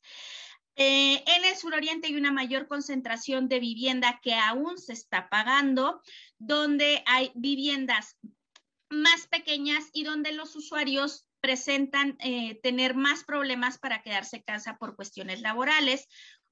Esto se asocia a un menor porcentaje de población trabajando en línea en esta zona y eh, en contraste a las zonas eh, de, de, estratos más altos donde hay una mayor presencia de población que sí está trabajando en línea. Tienen entonces más dificultades también para compartir el mismo espacio, para hacer ejercicio, para recrearse al interior de la vivienda y hay más conflictos para eh, compartir equipos de cómputo. De la misma forma, desde el mes de abril del 2020 se documentaron diversos brotes comunitarios en diversas maquiladoras y hay una mayor concentración de eh, estos brotes justamente en el suroriente de, de la ciudad. Esto asociado porque justamente al eh, residir en la periferia de la ciudad y em, em, al tener que recorrer el, largo y ancho del territorio del municipio para llegar a sus lugares de trabajo, se encuentran más expuestos en, durante eh, su trayecto como una reflexión eh, final muy genérica, debo colocar que la pandemia provocó una crisis que evidenció el vínculo estrecho entre los mercados de la vivienda y el mercado laboral, que agudizó las condiciones de desigualdad social y territorial preexistentes, es decir, no es tema nuevo, sin embargo, sí eh, se agudizó y se presentan eh, nuevos matices develando entonces la necesidad de revisar las formas de producir las ciudades y cómo se financia incluso eh, esta producción de la ciudad. Eso sería todo de mi parte. Eh, muchas gracias. Espero haber sido eh, lo más breve posible. Muchas gracias, Marina. Disculpen, mi internet está inestable. Este, bueno, fue muy interesante la ponencia que nos diste. Eh, entonces, a presentar a la siguiente ponente, quien va a hablar de la zona metropolitana del Valle de México. Es la doctora Eficha Bornazo Marzo. Este, se graduó de arquitectura por el Instituto Politécnico Federal de Zurich y posee una maestría y un doctorado en urbanismo por la arquitectura de la UNAM. Actualmente es profesora de tiempo completo en la Facultad de Arquitectura en el posgrado de urbanismo y posgrado en ciencias de la sostenibilidad de la UNAM. Tiene un larguísimo currículum. Creo que es una referencia cuando uno eh, ve temas de vivienda, ¿no? Entonces, no voy a leer su currículum, pero les doy la palabra. Para nosotros nos da mucho gusto que esté aquí en y adelante. Muchísimas gracias, Mariana. Muchísimas gracias también al PUEC por esa invitación en, ese evento tan importante. Voy a compartir pantalla.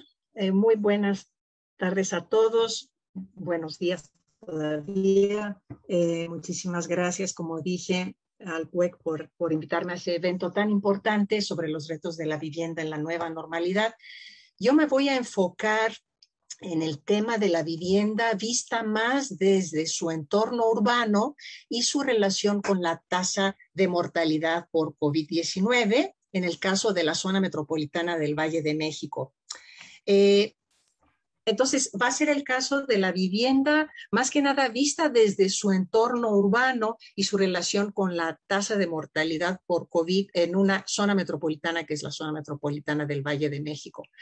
Eh, para empezar, quisiera señalar problemas y retos que representa ese intento de asociar problemática de la vivienda y la, incidencia de la pandemia. Eh, los dos son fenómenos complejos, entonces se involucran múltiples, múltiples factores cuyas relaciones también no son predecibles, entonces eso es un reto mayor. Eh, luego tenemos el tema de los datos, de la precisión de los datos de la pandemia que también nos están condicionado, condicionando los resultados. Por otro lado, cuando estamos hablando de la zona, de una zona metropolitana, estamos involucrando diferentes entidades federativas que cada una tuvo eh, políticas no iguales para enfrentar la pandemia, que también puede distorsionar y complicar la comparación, eh, otro aspecto es la temporalidad con la que estamos eh, investigando el comportamiento del virus. Puede también ser un problema porque hay un desfase en su comportamiento en las diferentes entidades federativas y municipios.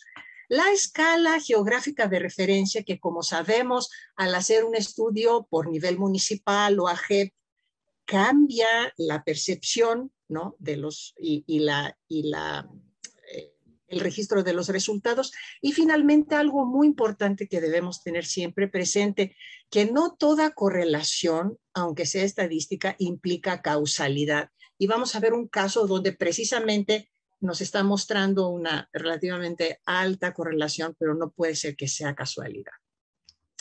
No voy a adentrarme en eso, había hecho un mapa eh, conceptual, pero las introducciones que nos hicieron al inicio fueron muy, muy ilustrativas para tener una mirada general al problema de la vivienda. Solamente quisiera hacer hincapié de que la vivienda es un problema de largo aliento, es un problema estructural que se puede abordar desde dos dimensiones, escalas creo que son muy importantes. La vivienda es su unidad espacial con sus propias características materiales, hacinamiento, infraestructura y la vivienda vista desde su entorno, su localización relativa respecto a bienes, servicios y fuentes de empleo. Entonces, esos son las, los rasgos estructurales y viene esa, esa cuestión coyuntural a través del virus SARS-CoV-2 y que se relaciona mucho con esto que han comentado las colegas y, el colega que me antecedieron, que es lo de salir de casa, ¿no? que tiene que ver con el entorno a la vivienda y que los epidemiólogos dicen que es el primer punto de, de, contagio, el detonador que luego el infectado, claro, lo va a traer en su vivienda donde se va a propagar de acuerdo a las características propias de la vivienda. Pero quiero hacer hincapié de que como estamos hablando de zonas metropolitanas de una extensión eh, eh, muy grande de su territorio, ese entorno a la vivienda y lo que implica de salir de casa es algo muy importante. Bueno, mi hipótesis entonces, de acuerdo a todo eso, es que la vivienda vista desde su entorno, su localización relativa es un factor primordial de incremento de vulnerabilidad al contagio por el virus SARS-CoV-2 en el caso de las, zonas metropolitanas. Ese entorno urbano eh, precario, próximo a la vivienda, eh, me refiero a una carencia de bienes y servicios, espacios monofuncionales que implican lejanía a las fuentes de empleo, que al cruzarse con ingresos bajos hace que las personas están obligadas al salir por, por, ir a trabajar, eh, a no poseer automóvil privado, que es también otra, otra cuestión. Entonces, están obligados a utilizar un transporte público deficiente con múltiples conexiones muy congestionado y largos traslados. Las variables que voy a utilizar para hacer esta, esta, buscar esas asociaciones, por el lado de la vivienda es, voy a, a considerar la vivienda en sus características propias, como decía, y la infraestructura, o sea, la vivienda en su unidad espacial, y luego su localización relativa que implica mayor o menor movilidad física. Y por el lado del COVID-19, basada en artículos científicos de, epidemiólogos, voy a utilizar la tasa de mortalidad y no tanto el número de infectados, porque los especialistas dicen que son mucho más fiables los, los datos de la mortalidad, independientemente si en eso se involucran otro, otro, otro tipo de aspectos como son las comorbilidades. Pero consideramos que es más fiable trabajar con la mortalidad. Para los que no conocen, la zona metropolitana del Valle de México se encuentra en la parte central de la República Mexicana. Eh, se compone de tres eh, entidades federativas, la Ciudad de México, Estado de México e Hidalgo. Tiene una superficie aproximada de 6.000 kilómetros cuadrados y su población alcanza casi 22 millones de habitantes. Entonces, como primer paso, hicimos una eh, una georreferenciación de la, de la incidencia de mortalidad. Aquí lo que están viendo es la tasa de mortalidad por cada 100.000 habitantes, eh, datos acumulados hasta septiembre de finales de septiembre de 2021 y en términos generales vamos a ver eh, de una interpretación cualitativa, no, me, no voy a llegar a unas correlaciones este, estadísticas, vemos que la distribución de la, de la mayoría de las de los, tasas de mortalidad acumuladas, eh, podríamos decir que tiene una un patrón concéntrico, aunque hay algunos municipios como es Chalco, Texcoco y Tizayuca que están saliendo de esta, esta parte central. Este va a ser nuestro mapa base que vamos a estar ahorita comparando con diferentes aspectos de la vivienda, primero en su dimensión espacial unitaria y luego vamos a entrar en el tema de la localización relativa. Tomé eh, varios estudios, ese es el caso un caso sobre el suelo para la vivienda, un libro coordinado por el arquitecto Suárez Parellón. Y entonces eh, retomé ciertos, eh, ciertas tipologías de vivienda que normalmente se eh, relacionan con la vivienda precaria, como es el lado izquierdo, es el caso de pueblos conurbados y no conurbados, y el lado derecho son las colonias populares. Vemos que la distribución de la mayor presencia tanto de los pueblos como de las colonias populares no tiene eh, una clara correlación, una, clara eh, similitud con el patrón que les estaba mostrando de la incidencia de la tasa de mortalidad por COVID-19. En el mismo sentido, de, la, misma fuente, aquí vemos las del lado izquierdo las viviendas autoconstruidas, que también en su mayoría se pueden identificar con vivienda precaria, y del lado derecho, viviendas que comparten excusado. Tampoco vemos algo que nos podía indicar cierta relación con, la distribución de la tasa de mortalidad. Eh, avanzamos más, ahorita estamos viendo la distribución de la vivienda precaria eh, en, relación a tipo de materiales de menor resistencia que repite pues ese patrón periférico, mientras que la parte central de la zona metropolitana, como vemos, es la que menor presencia de ese tipo de viviendas presenta, como este de sentido común, ¿no? Y eh, finalmente, en esta parte, eh, del lado izquierdo vemos las viviendas que no disponen de regadera. También más o menos una, distribución distinta, periférica, contraria a la, a la, incidencia de la tasa de mortalidad concéntrica. Y del lado derecho es uno de los temas más importantes, ¿no? que se ha hablado que tiene que ver eh, con la dotación, proporción de residentes con servicio diario de agua potable.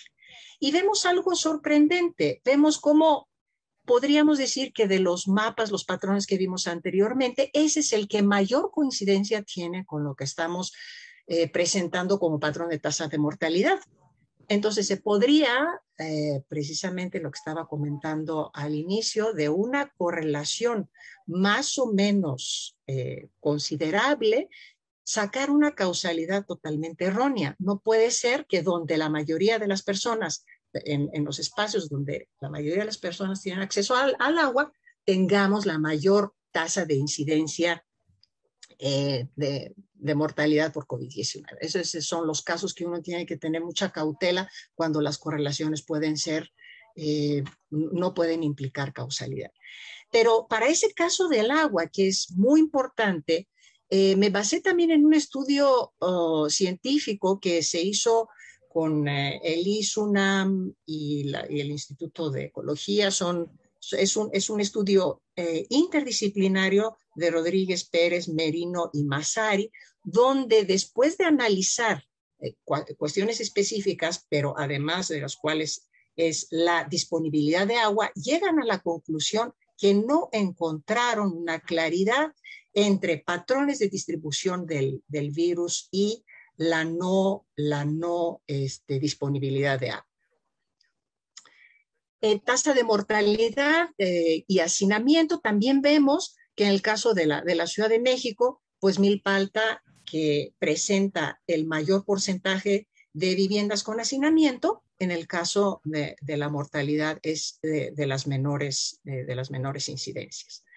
Entonces, bueno, como una, ni siquiera conclusión, sería como una hipótesis que podríamos dejar en la mesa, una pregunta. Ese breve análisis y comparación cualitativa que se hizo de acuerdo a las características de la vivienda y la incidencia eh, de la tasa de mortalidad por el eh, eh, virus, por, por la enfermedad del COVID-19, no encontramos indicios de una clara coincidencia, asociación o correlación. Pues avanzamos ahora a ver la, cuestión, la, otra dimensión de la vivienda, que es su localización relativa respecto a bienes, servicios y, fuentes de empleo. Como la localización relativa de acuerdo a su a la dotación de su entorno implica mayor o menor movilidad física. Entonces, em, recogimos datos de la encuesta de origen y destino de 2017 para empezar eh, de los viajes internos. Aquí se enlistan los 20 municipios y demarcaciones territoriales con mayor cantidad de viajes internos. Quiere decir que tienen cierta autonomía eh, en, su, en sus actividades y por el otro lado, los 10 más importantes que generan la mayor cantidad de viajes externos eh, y sus destinos principales. Entonces, lo que hicimos, eh, sobrepusimos estos municipios que tienen las mayores cantidades de viajes en nuestro mapa de la incidencia de la mortalidad. Y aquí pueden ver con los rombos azules tenemos los municipios y demarcaciones territoriales con mayor cantidad de viajes internos, con el rojo, que es el único, que es Benito Juárez, con mayor cantidad de viajes externos y donde coincide tanto el cuadro rojo con el rombo azul, tenemos tanto viajes internos como externos. Vemos que empezamos a identificar cierta coincidencia entre incidencia de mortalidad y eh, número de viajes, movilidad física. Sin embargo, tenemos Azcapotzalco e Iztacalco, que son las de mayor eh, incidencia de, mortalidad y no, están dentro de las principales que, generadoras de viajes y también Chalco. Entonces avanzamos aún más de un estudio, por cierto, del PUEC en 2011, que se hizo la actualización de programa de ordenación del territorio de la zona metropolitana del Valle de México. Aquí se representan con esos puntos rojos eh, los 50 pares de mayor volumen de viajes de origen y destino. Y entonces vemos con estas eh, sobrepuse también en el mapa de COVID los nuevos puntos que se agregan a través de estos pares, ¿no? que son estos, eh, estas estrellas ah, amarillas, y vemos cómo se incorpora Azcapotzalco y Chalco dentro de, las, de lo que vimos anteriormente de la cantidad de viajes. Bueno, un paso más allá, buscando eh, encontrar todavía mayores coincidencias, eh, pensamos que la movilidad física, pues lo que hace es llevar a las personas de su lugar de residencia a esa concentración de, donde hay concentración de actividades económicas y fuentes de empleo.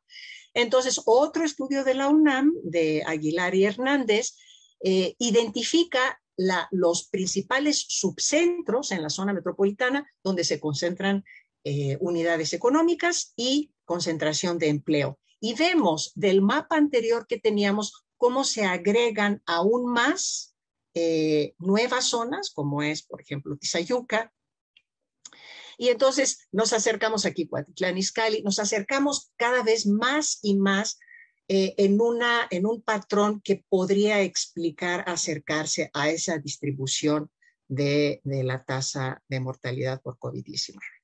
Bueno, más que conclusiones, yo quisiera eh, poner en la mesa que son hipótesis eh, y nos hace reflexionar sobre la importancia que tiene en una zona metropolitana, insisto, del Valle de México, donde las condiciones de la vivienda eh, es incuestionable que todavía tenemos mucho que hacer al respecto, como en su unidad espacial, materiales, infraestructura, etcétera, pero eh, comparándola a nivel país, se encuentra en una mejor situación. Entonces, en esta zona metropolitana, el punto de mayor importancia es precisamente la localización de la vivienda respecto a bienes públicos, este, servicios y fuentes de empleo. Sin embargo, repito otra vez esa diapositiva con los problemas y los retos. Es muy difícil llegar a encontrar eh, asociaciones o correlaciones muy claras, aunque intuitivamente entendemos perfectamente bien que la situación de hacinamiento, de falta de agua, afecta definitivamente la problemática y, la, y el contagio por COVID-19, pero yo me atrevería a decir que para las características de las zonas metropolitanas, eh, un tema central que debe otra vez de llegar a estar en primera línea es el tema de los viajes que se generan, del tiempo que pierden las personas, que afecta su pobreza, no tanto por ingreso, o sea, además de por ingreso, también por el tiempo personal, eh, y regresamos otra vez a viejas eh, ideas muy importantes como eh, otra vez ese programa de ordenación, su actualización que se hizo en 2011, donde nos está recordando que una de las estrategias más importantes en estas grandes zonas metropolitanas primordiales debería ser la descentralización de las actividades de unidades económicas, dotación, bienes y servicios y fuentes de empleo. Y esto mucho más allá de lo que nos hizo recordar el COVID-19, creo que es uno de los retos fundamentales para mejorar la vida de las personas que viven alejados de estos bienes tan importantes que afecta no solamente la, calidad de la vivienda en su concepción más amplia, sino su nivel de pobreza. Bueno, muchísimas gracias. Muchas gracias, doctora. Muy, muy interesante su presentación. Em, pues sin más le voy a dar la palabra al último ponente de esta mesa, quien es el maestro Franco Barradas. Él es licenciado en Sociología por la Universidad Veracruzana, maestro en Planeación por la Universidad de Quintana Roo y actualmente es doctorando en Geografía por la misma universidad. Y nos va a presentar una investigación que es, eh, habla sobre la zona metropolitana de Chetumal, pero enfocada en un caso de estudio de un conjunto habitacional. Adelante. Gracias. Eh, ¿Me pueden indicar si se ve la presentación, por favor? Sí, se ve. Gracias. Bueno, este, mi trabajo este, se titula Habitabilidad y Pandemia por COVID-19 en el fraccionamiento Caribe de Chetumal, Quintana Roo, México. Y este, quiero decirles que normalmente cuando se piensa en Quintana Roo, se piensa en la zona norte, que es Cancún, Playa del Carmen y Tulum, que son los, lo más conocidos. Pero este, nosotros estamos en la zona sur, que es el municipio de Otompe Blanco, en especial la ciudad de Chetumal, que es la capital del estado y la cabecera del municipio. Y dentro del, de la ciudad, en la parte noroeste, está el fraccionamiento Caribe es un fraccionamiento eh, financiado por Infonavit y por Fobiste y está rodeado de otros asentamientos como este, residenciales como Residencial Constituyentes, Ciancán y Ciancán 2 y colonias populares como el Territorio Federal o Nueva Generación y en la parte norte asentamientos irregulares como son los Palomos y Cordobés. Tiene una superficie total de 9 hectáreas y media y 3.032 viviendas, con una densidad de 319 viviendas por hectárea. Se construyó entre los años 2004 a 2006 y este, la vivienda tiene una superficie inicial de 33.76 metros cuadrados. Todas se hicieron bajo el mismo diseño inicial. El marco teórico que yo estoy utilizando es eh, está basado en la geografía urbana para analizar la ciudad, de ahí en un, un, siguiente subsistema el fraccionamiento para llegar hasta la vivienda. También sustentado en la teoría de la renta de la tierra, sobre todo en el aspecto de la renta de monopolio de segregación. Y esto porque en la vivienda es donde se dan las tres reproducciones principales, que es la biológica que se da a través de la alimentación y de la procreación de los hijos, la social, que es donde se transmiten los valores y las costumbres, y la reproducción de la fuerza del trabajo, que puede ser simple o puede ser ampliada, la simple a través de la alimentación y del descanso, y la ampliada a través de la educación, la vivienda y la salud. Y en el trabajo se trata de analizar la habitabilidad interna y la externa.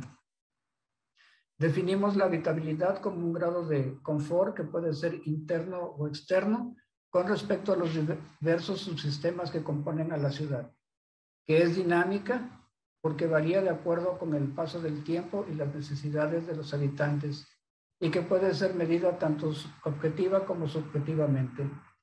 Otros dos eh, conceptos que se utilizan en este trabajo es el hacinamiento físico, que consiste en que tres o más personas eh, compartan una misma habitación para dormir.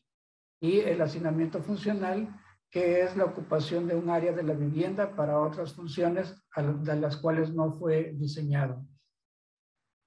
Eh, para eh, comprobar más o menos cómo se comporta esto de la renta de la tierra y, y, cómo generalmente se hacen cada vez más pequeñas las viviendas, tenemos aquí una comparación. A la derecha es un plano de la, de la vivienda del fraccionamiento Caribe, que como ya habíamos dicho es de 33.76 metros cuadrados. Y a la derecha este, una vivienda de un fraccionamiento más, este, más reciente, es el fraccionamiento de las Américas. Y aquí ya las dimensiones de la vivienda es de 28.57 metros cuadrados. Hay una diferencia de 5.19 metros cuadrados, lo que permitió a los desarrolladores de la vivienda construir más o menos mil viviendas más en el nuevo fraccionamiento, aumentando así la densidad de, vivienda por hectárea. Ahora, con respecto a la pandemia en, el estado, eh, a partir del 13 de marzo se presenta el primer caso aquí en el estado de Quintana Roo y el 21 de marzo este, Belice cierra su frontera con Quintana Roo y aquí sucede una cosa un poco este, contrario a lo que pasa en Tijuana. En Tijuana, por lo que expuso la compañera que antecedió, los mexicanos son los que pasan a comprar a, Estados Unidos. Aquí en el caso de México, de, Chetumal, son los beliceños los que vienen a, comprar porque aprovechan la diferencia de, del valor de cambio ya que el dólar beliceño está al 2 por 1 con el dólar americano. Pero al cerrarse la frontera, pues se viene un declive este, económico en el comercio que todavía no, este, no se ha resuelto. Para el 29 de marzo se presenta el primer caso en Chetumal y el 4 de abril el primer fallecimiento. El 13 de enero de este año se aplica la primera vacuna y este, el, a partir de, este lunes eh, se está por primera vez eh, en semáforo verde a nivel nacional, pero aquí a nivel estatal se mantiene en amarillo. En los números, este, hasta el momento se tienen 58.201 casos positivos, de los cuales el 41.8 son mujeres y el 54.2 son varones y hay 53.009 recuperados y 3.973 defunciones. La metodología que se utilizó para hacer este trabajo es una metodología mixta. Se hizo una aplicación a través de la plataforma de WhatsApp y nos apoyamos con el personal directivo y docente de la Escuela Primaria Centenario de la Revolución Mexicana, que está localizada dentro del fraccionamiento se utilizó la técnica bola de nieve. En este caso, al director se le dio el enlace al cuestionario. Este, a su vez, se lo dio a los profesores y los profesores a los alumnos y a los padres de familia. Esto nos hace eh, tener un muestreo no representativo en una investigación experimental y los resultados obtenidos son considerados un primer acercamiento al problema ya en concreto con los resultados encontramos que este, el 54% de las viviendas no tienen hacinamiento y el 46% sí lo presentan. Eh, pero el hacinamiento funcional lo, tienen todas las viviendas y eh, se repartieron más o menos de la siguiente manera las tareas escolares y el teletrabajo o home office. El 46.25 lo realiza en la sala, el 35.44 en el comedor y el 18.32 en la recámara. Pero quisiera yo hacer la aclaración de que este, lo que distingue eh, la sala del comedor nada más son los muebles que se utilizan, porque todo, como se pudo ver en el, o se puede ver en el plano, este, aparece como una sola área, es, denominada estancia. Eh, otra de las medidas que implementó la Secretaría de Salud fue la del aislamiento de los enfermos en la vivienda. En este caso, el 60% de los encuestados dijeron poder tener un enfermo en aislamiento.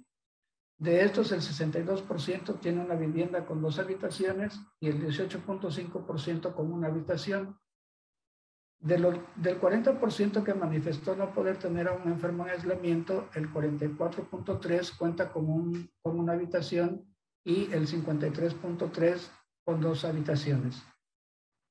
Lo que hay que tomar en cuenta es que las condiciones eh, que se tendrían al tener a un enfermo aislado es que el resto de la familia tendría que asignarse en la sala comedor o en la otra habitación que tuvieran eh, disponible.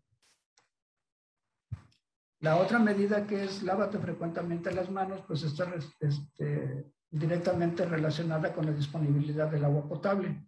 En este caso, el 36% de, la, de los habitantes tienen, eh, disponen de agua potable eh, una parte del día y el 64% eh, disponen de agua todo el día. Aunado a este problema de la falta de, de este, de disponibilidad de agua, eh, también tenemos la característica de que el suelo de la península de Yucatán es kárstico y esto eh, hace que sea un suelo muy soluble, por lo cual el agua este, es ah, rica en sales minerales y eh, la, la, mayoría de las personas prefieren consumir agua de garrafón y no este, el agua directa de la llave. Entonces, en este caso tenemos un consumo bastante elevado de garrafones, de tal manera que el 27% de los encuestados consumen cuatro garrafones a la semana, el 26% consumen cinco garrafones y el 22% consumen dos garrafones. El costo del garrafón varía de, 10 a 32 pesos este, cada uno dependiendo del tipo de servicio que se tenga o de la marca que se prefiera consumir. Pero esto implica también pues un gasto más en la canasta básica. Como conclusiones de, de este trabajito, este, podemos decir que las condiciones de habitabilidad encontradas son un impedimento para cumplir las indicaciones de la Secretaría de Salud, dado que las dimensiones de las viviendas no permiten respetar la sana distancia, el hacinamiento físico de casi la mitad de los entrevistados y el hacinamiento funcional de todos ellos generan estrés que obstaculiza el sano desarrollo.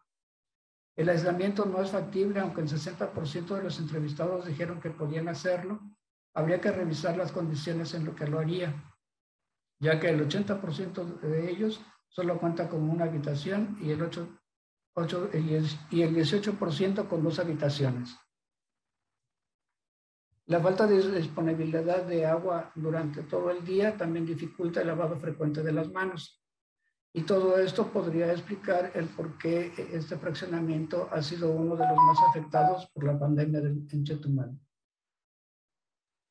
Estas son algunas de las referencias que he utilizado para eh, mi trabajo. Y pues muchas gracias por su atención. Ese es mi correo al cual pueden ustedes eh, enviarme todos los comentarios o sugerencias que me puedan ayudar a mejorar mi trabajo. Muchas gracias.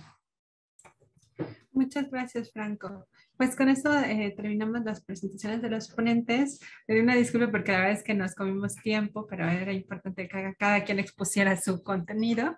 Entonces, en el programa de la mesa está ahora una reflexión colectiva entre los ponentes sobre lo que se vio.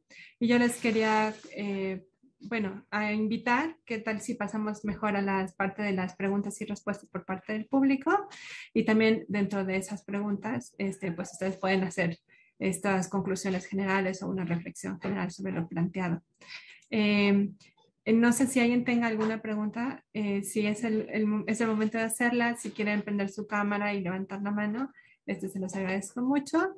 Este, veo que por parte de Alan Castañeda del PUEC hay una pregunta, entonces le voy a ceder la palabra a él y también si alguien más quiere eh, hacer la pregunta, pues eh, sean muy bienvenidos. Adelante, Alan.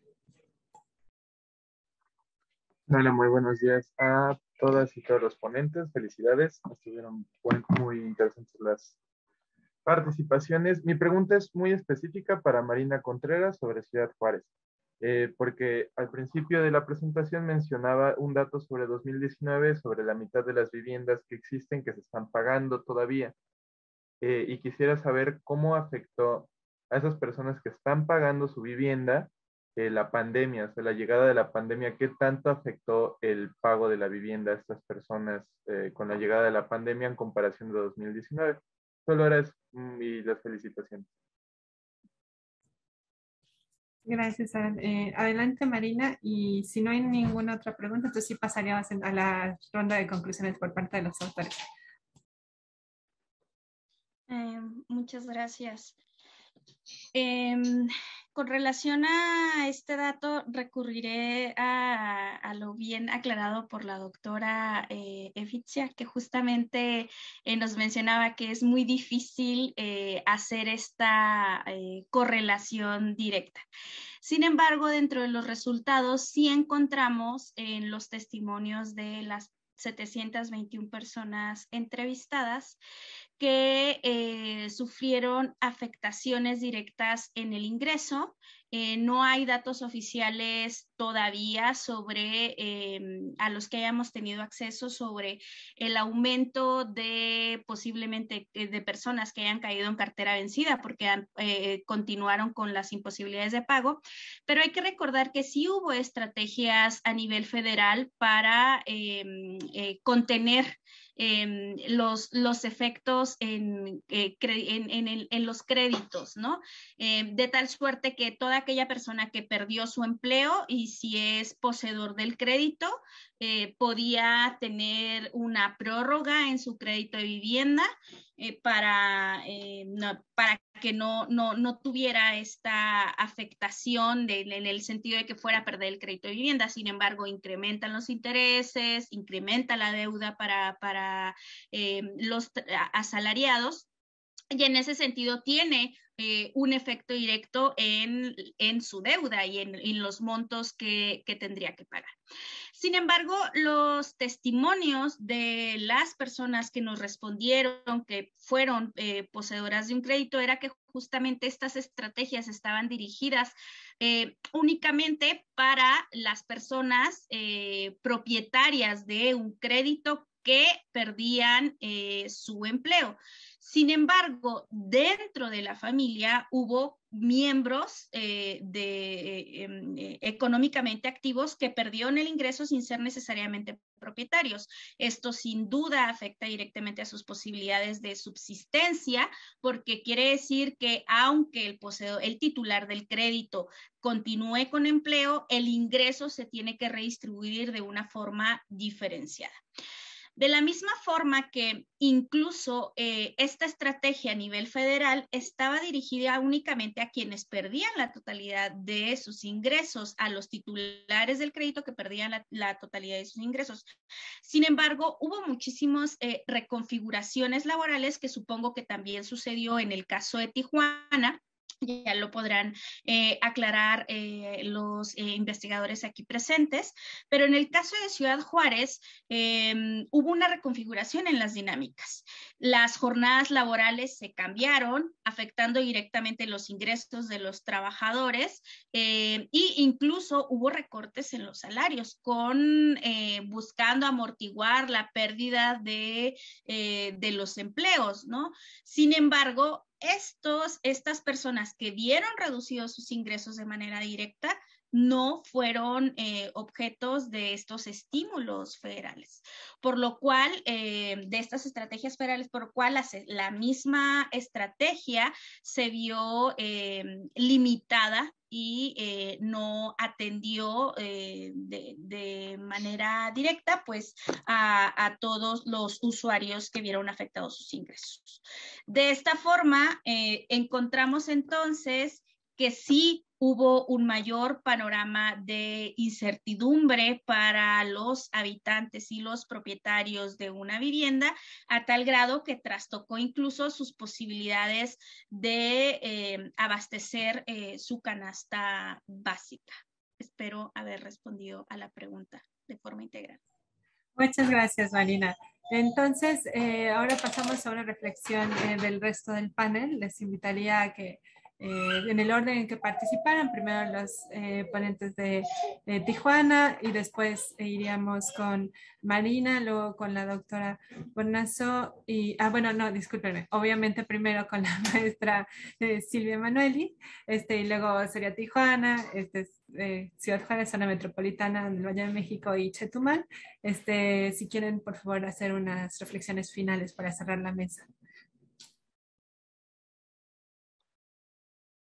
Muchas gracias. Eh, bueno, yo diría, bueno, quizás en primer lugar que bien no, eh, no tengo los datos obviamente desglosados, pero sobre la pregunta previa se puede utilizar la encuesta nacional de vivienda, ¿no? Que es un poco una novedad que acaba también de presentarse y que plantea que el 8.9% de las viviendas censadas reportó que algún integrante tuvo problemas económicos eh, para pagar la renta el 50%, el crédito 52.2%.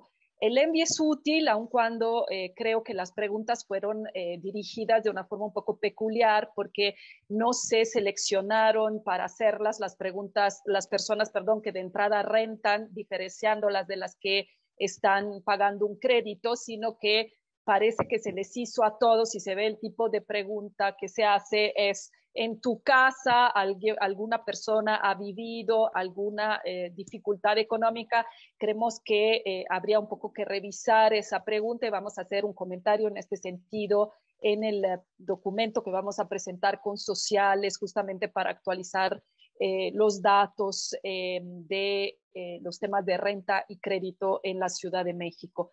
Bueno, yo, ya que me tomé antes cinco minutos más de mi tiempo, no quisiera abundar, simplemente decir que me parece que sigue siendo útil el paraguas que, presenté. Muchas personas en sus investigaciones retomaron obviamente el tema del suelo, eh, el concepto mismo de derecho a la vivienda adecuada, ¿no? Lo que sucede es que estamos analizando mucho, y no digo que no haya que hacerlo, lo que pasa en las viviendas Infonavit viste. La invitación en, es en general para todas las personas que trabajamos estos temas a ver la complejidad del derecho a la vivienda adecuada, más allá de estas opciones que decíamos se ofrecen a un sector especial de la eh, población, ¿no? Y hay una serie de otras situaciones que ahí están, o se habló en algunas ponencias de la vivienda autoconstruida, de la cantidad de vivienda autoconstruida, pero esperamos realmente que en esa nueva normalidad se pueda seguir profundizando, por ejemplo, en el tema de las cooperativas de vivienda, reconocida en la Constitución desde casi un siglo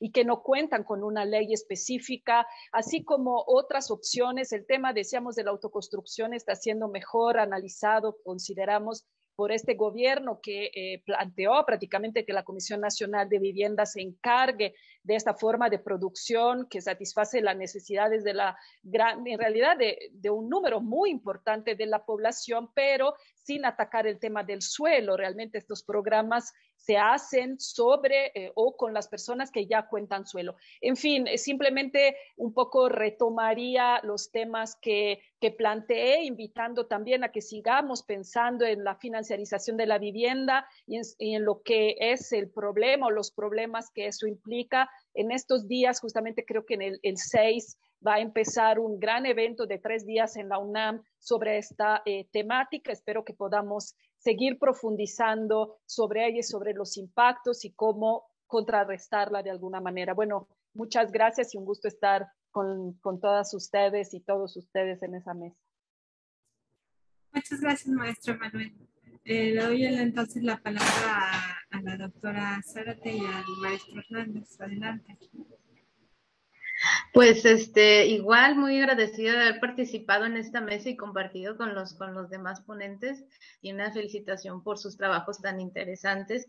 Este, pues yo quisiera puntualizar en algunas cosas que ya se han dicho y que se han dicho incluso sobre la, sobre la vivienda. Cuando empezó esto de la pandemia, creo que la pregunta que nos hacíamos todos es quién se puede quedar en casa y quién no se puede quedar en casa, ¿no?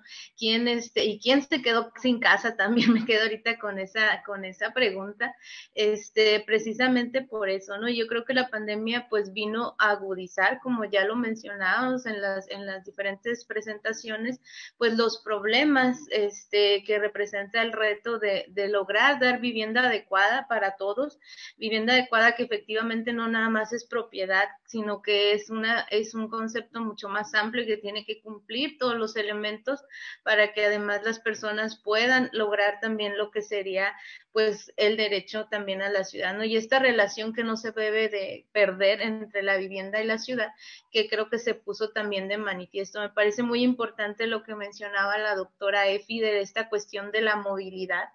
Este, y cómo también hay otros puntos que están incidiendo, que incidieron en esa, en esa afectación que generó la, que generó la pandemia. También me preguntaría, este, dices, los, este, el área donde se perdieron mayor cantidad de empleos, este, revisarlo, porque los servicios básicamente fue lo que estuvo mucho más afectado. Efectivamente, como comentaba Marina, pues este, las maquiladoras siguieron trabajando, incluso se generaron conflictos acá en la frontera por, esa, por ese continuar con, el, con este trabajo obligado.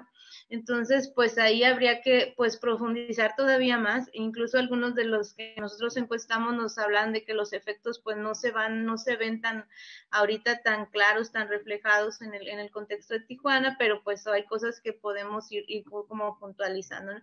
creo, este, también para cerrar y no extenderme mucho, que hablar de la política de suelo, pues, este, es una, una, este, pues, obligado y hablar de la política de suelo porque lo mencionó la doctora este Manuel, este, la vivienda bien localizada, no nada más es el acceso, sino bien localizado con servicios, pues es uno de los retos básicos y este, y pensar efectivamente no en, a lo mejor en esquemas nuevos de financiamiento que se han buscado incluso por parte de los organismos, sino en formas de producción habitación, como esta que mencionaba, la forma colectiva, que pues pudieran ampliar el acceso a la población, no solo a la población asalariada, ¿no? Entonces, por ahí van los comentarios, ¿no? Sigue siendo pues, un gran reto, ¿no? el dar la vivienda a la población. Gracias. Y gracias por la invitación. Muchas gracias, doctora. Eh, Maestro Hernández, ¿quiere decir algunas palabras? Sí, bueno, este, bueno, primero, muchas gracias ¿no? por la invitación y, un saludo a todos los ponentes, muy interesantes sus trabajos. Este, bueno, solamente eh, reforzar y coincidir ¿no? con, con mi compañera este, de los puntos, pero eh, resaltamos o, o, es uno, un punto muy especial el de la vivienda y su entorno, ¿no? Este, creo que se tiene que retomar de, manera muy especial esa parte porque digamos que es la conexión, ¿no? Con, con la vivienda. Por supuesto, ya se mencionó eh, la cuestión particular de la vivienda, ¿no? Es, esta mejora, eh, esta necesidad de, de, analizar su dimensionamiento, por ahí eh, el último expositor, pues nos queda claro, ¿no? De las deficiencias, ¿no? De, este, de esta dimensión, digamos, ¿no? Este, pero también eh, hay que revalorar mucho la vivienda y su entorno y lo que conlleva, ¿no? Puede conllevar transporte, puede conllevar, eh, digamos, una cotidianidad que es necesario recuperar, ¿no? Que, que, yo creo que en algunos momentos sí, sí la teníamos y la hemos perdido con el paso del tiempo. Entonces, aspectos de este tipo se tienen que poner en la mesa de discusión, obviamente el financiamiento, etcétera, pero yo destaco también ese punto de manera particular. ¿no? Muchas gracias. Gracias. Eh, Marina, unas últimas palabras. Gracias, seré breve. Coincido con eh, todo lo que han colocado los panelistas. También les felicito por, por sus eh, apreciables investigaciones. Yo solo quisiera colocar que mm, efectivamente el problema de la vivienda no es un tema nuevo y que ahora con la pandemia pues sí presenta otros matices, pero sin duda es un tema que va a seguir presentando eh, matices a nivel nacional y a nivel mundial y que sin duda tenemos que seguir eh, revisándolo eh, como bien nos invita.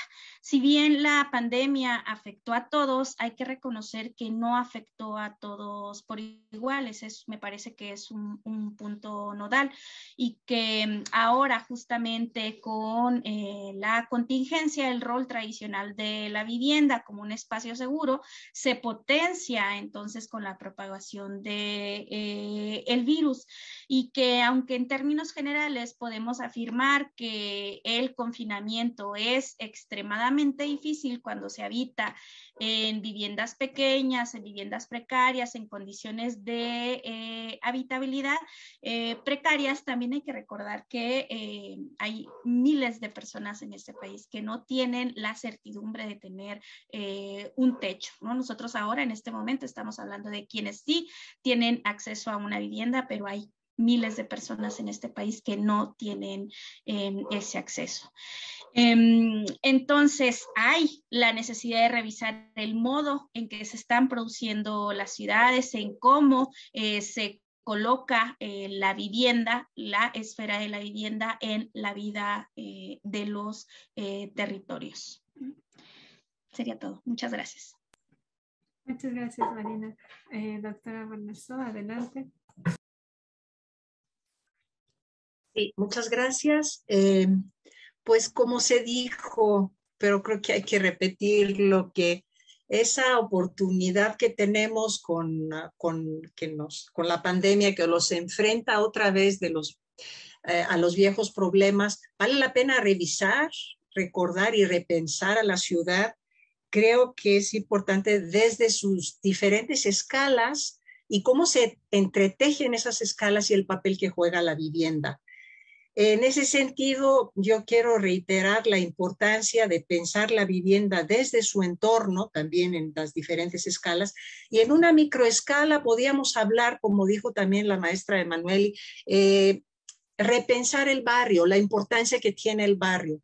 En algunos este, contextos se habla ahorita de la ciudad de 15 minutos, puede no ser la ciudad de 15 minutos, pero la idea es precisamente generar pequeñas ciudades dentro de la ciudad. Y ese no es solamente para el tema del, virus, ¿no? Que entonces implica que las personas caminan más y no están en espacios cerrados de transporte público congestionado, sino disminuye la contaminación, disminuye la pobreza por el costo del, que tienen las personas que pagar para el transporte, la pobreza por el tiempo personal, la generación de comunidad y colectividad, porque al caminar en el barrio uno tiene mucho más interacción, salud de las personas. Entonces, yo creo que ese entorno a la vivienda tiene que tomar cada vez más y más importancia, sin olvidar la vivienda en su, en su espacio propio, ¿no? Pero para las zonas metropolitanas creo que se vuelve el reto mayor. Muchísimas gracias, fue un gran gusto compartir con ustedes ese espacio. Muchas gracias, doctora. Y finalmente, eh, maestro Barradas, adelante. Gracias, bueno, gracias por la invitación. Es para mí de veras un privilegio este, estar con, con estos panelistas. De veras es muy importante para mí. Muchas gracias. Aprendo mucho. Y este, como una reflexión final este, de mi trabajo, este, yo quiero extenderlo un poco más. Este, por ejemplo, aquí en el estado de Quintana Roo, todo el ingreso está centrado en el turismo. Al cerrarse los, los viajes, este, hubo un gran este, problema económico. Se habla de más de 60 mil empleos perdidos en, en Cancún y en Playa del Carmen. Y obviamente todo eso también nos repercute acá en Chetumal. La segunda reflexión que quiero hacer es en torno a la educación, este, de cómo se está dando la educación en, en las casas, en las viviendas. Eh, al igual que como se decía, no, este, no todos este, tuvimos la oportunidad de quedarnos en casa y, continuar con nuestros ingresos. Este, muchos tuvieron que salir a trabajar. Al igual que esas condiciones, no todos este, estamos bien preparados para poder llevar el, el este, aprende en casa, este, independientemente también de las conexiones de Internet y, demás. Este, y, esto me, lleva a, pensar, y es, es este, un tema que quiero desarrollar un poco más, es si las escuelas realmente están cumpliendo con su función de, de enseñanza-aprendizaje, de educación o de preparación, o se han convertido solamente en guarderías, mientras el padre y la madre tienen que ir a trabajar. Eso también pues tiene que ver con este, la cuestión de cómo, cómo vivimos, cómo nos organizamos. Y desde luego, este, finalmente quiero decirles que pues Chetumal es una ciudad media, este, muy pequeñita a comparación de todas las exposiciones que tuvieron ustedes, pero que poco a poco este, también estamos viendo que estamos viviendo los mismos problemas que, que las ciudades grandes. ¿no? Se, están se están empezando a presentar, ya hay embotellamientos de tránsito, ya hay este, problemas de movilidad, etc. Entonces creo que toda la, la, este, situación de, del urbanismo que se presenta en las grandes ciudades y en las zonas metropolitanas también lo estamos viviendo aquí. Muchas gracias por la invitación nuevamente. Muchas gracias, maestro. Pues con esto cerramos el panel. Les agradezco mucho a, a, los ponentes que nos acompañan desde las distintas partes del país y a todas las personas que se conectaban a esta mesa. La mesa se va a grabar y se va a poner en YouTube porque muchas veces la gente los ve después en, a través de redes sociales. Y pues con esto cerraría el día de hoy este evento. Muchísimas gracias. ¿eh? Muchas gracias. gracias Hasta luego a todos.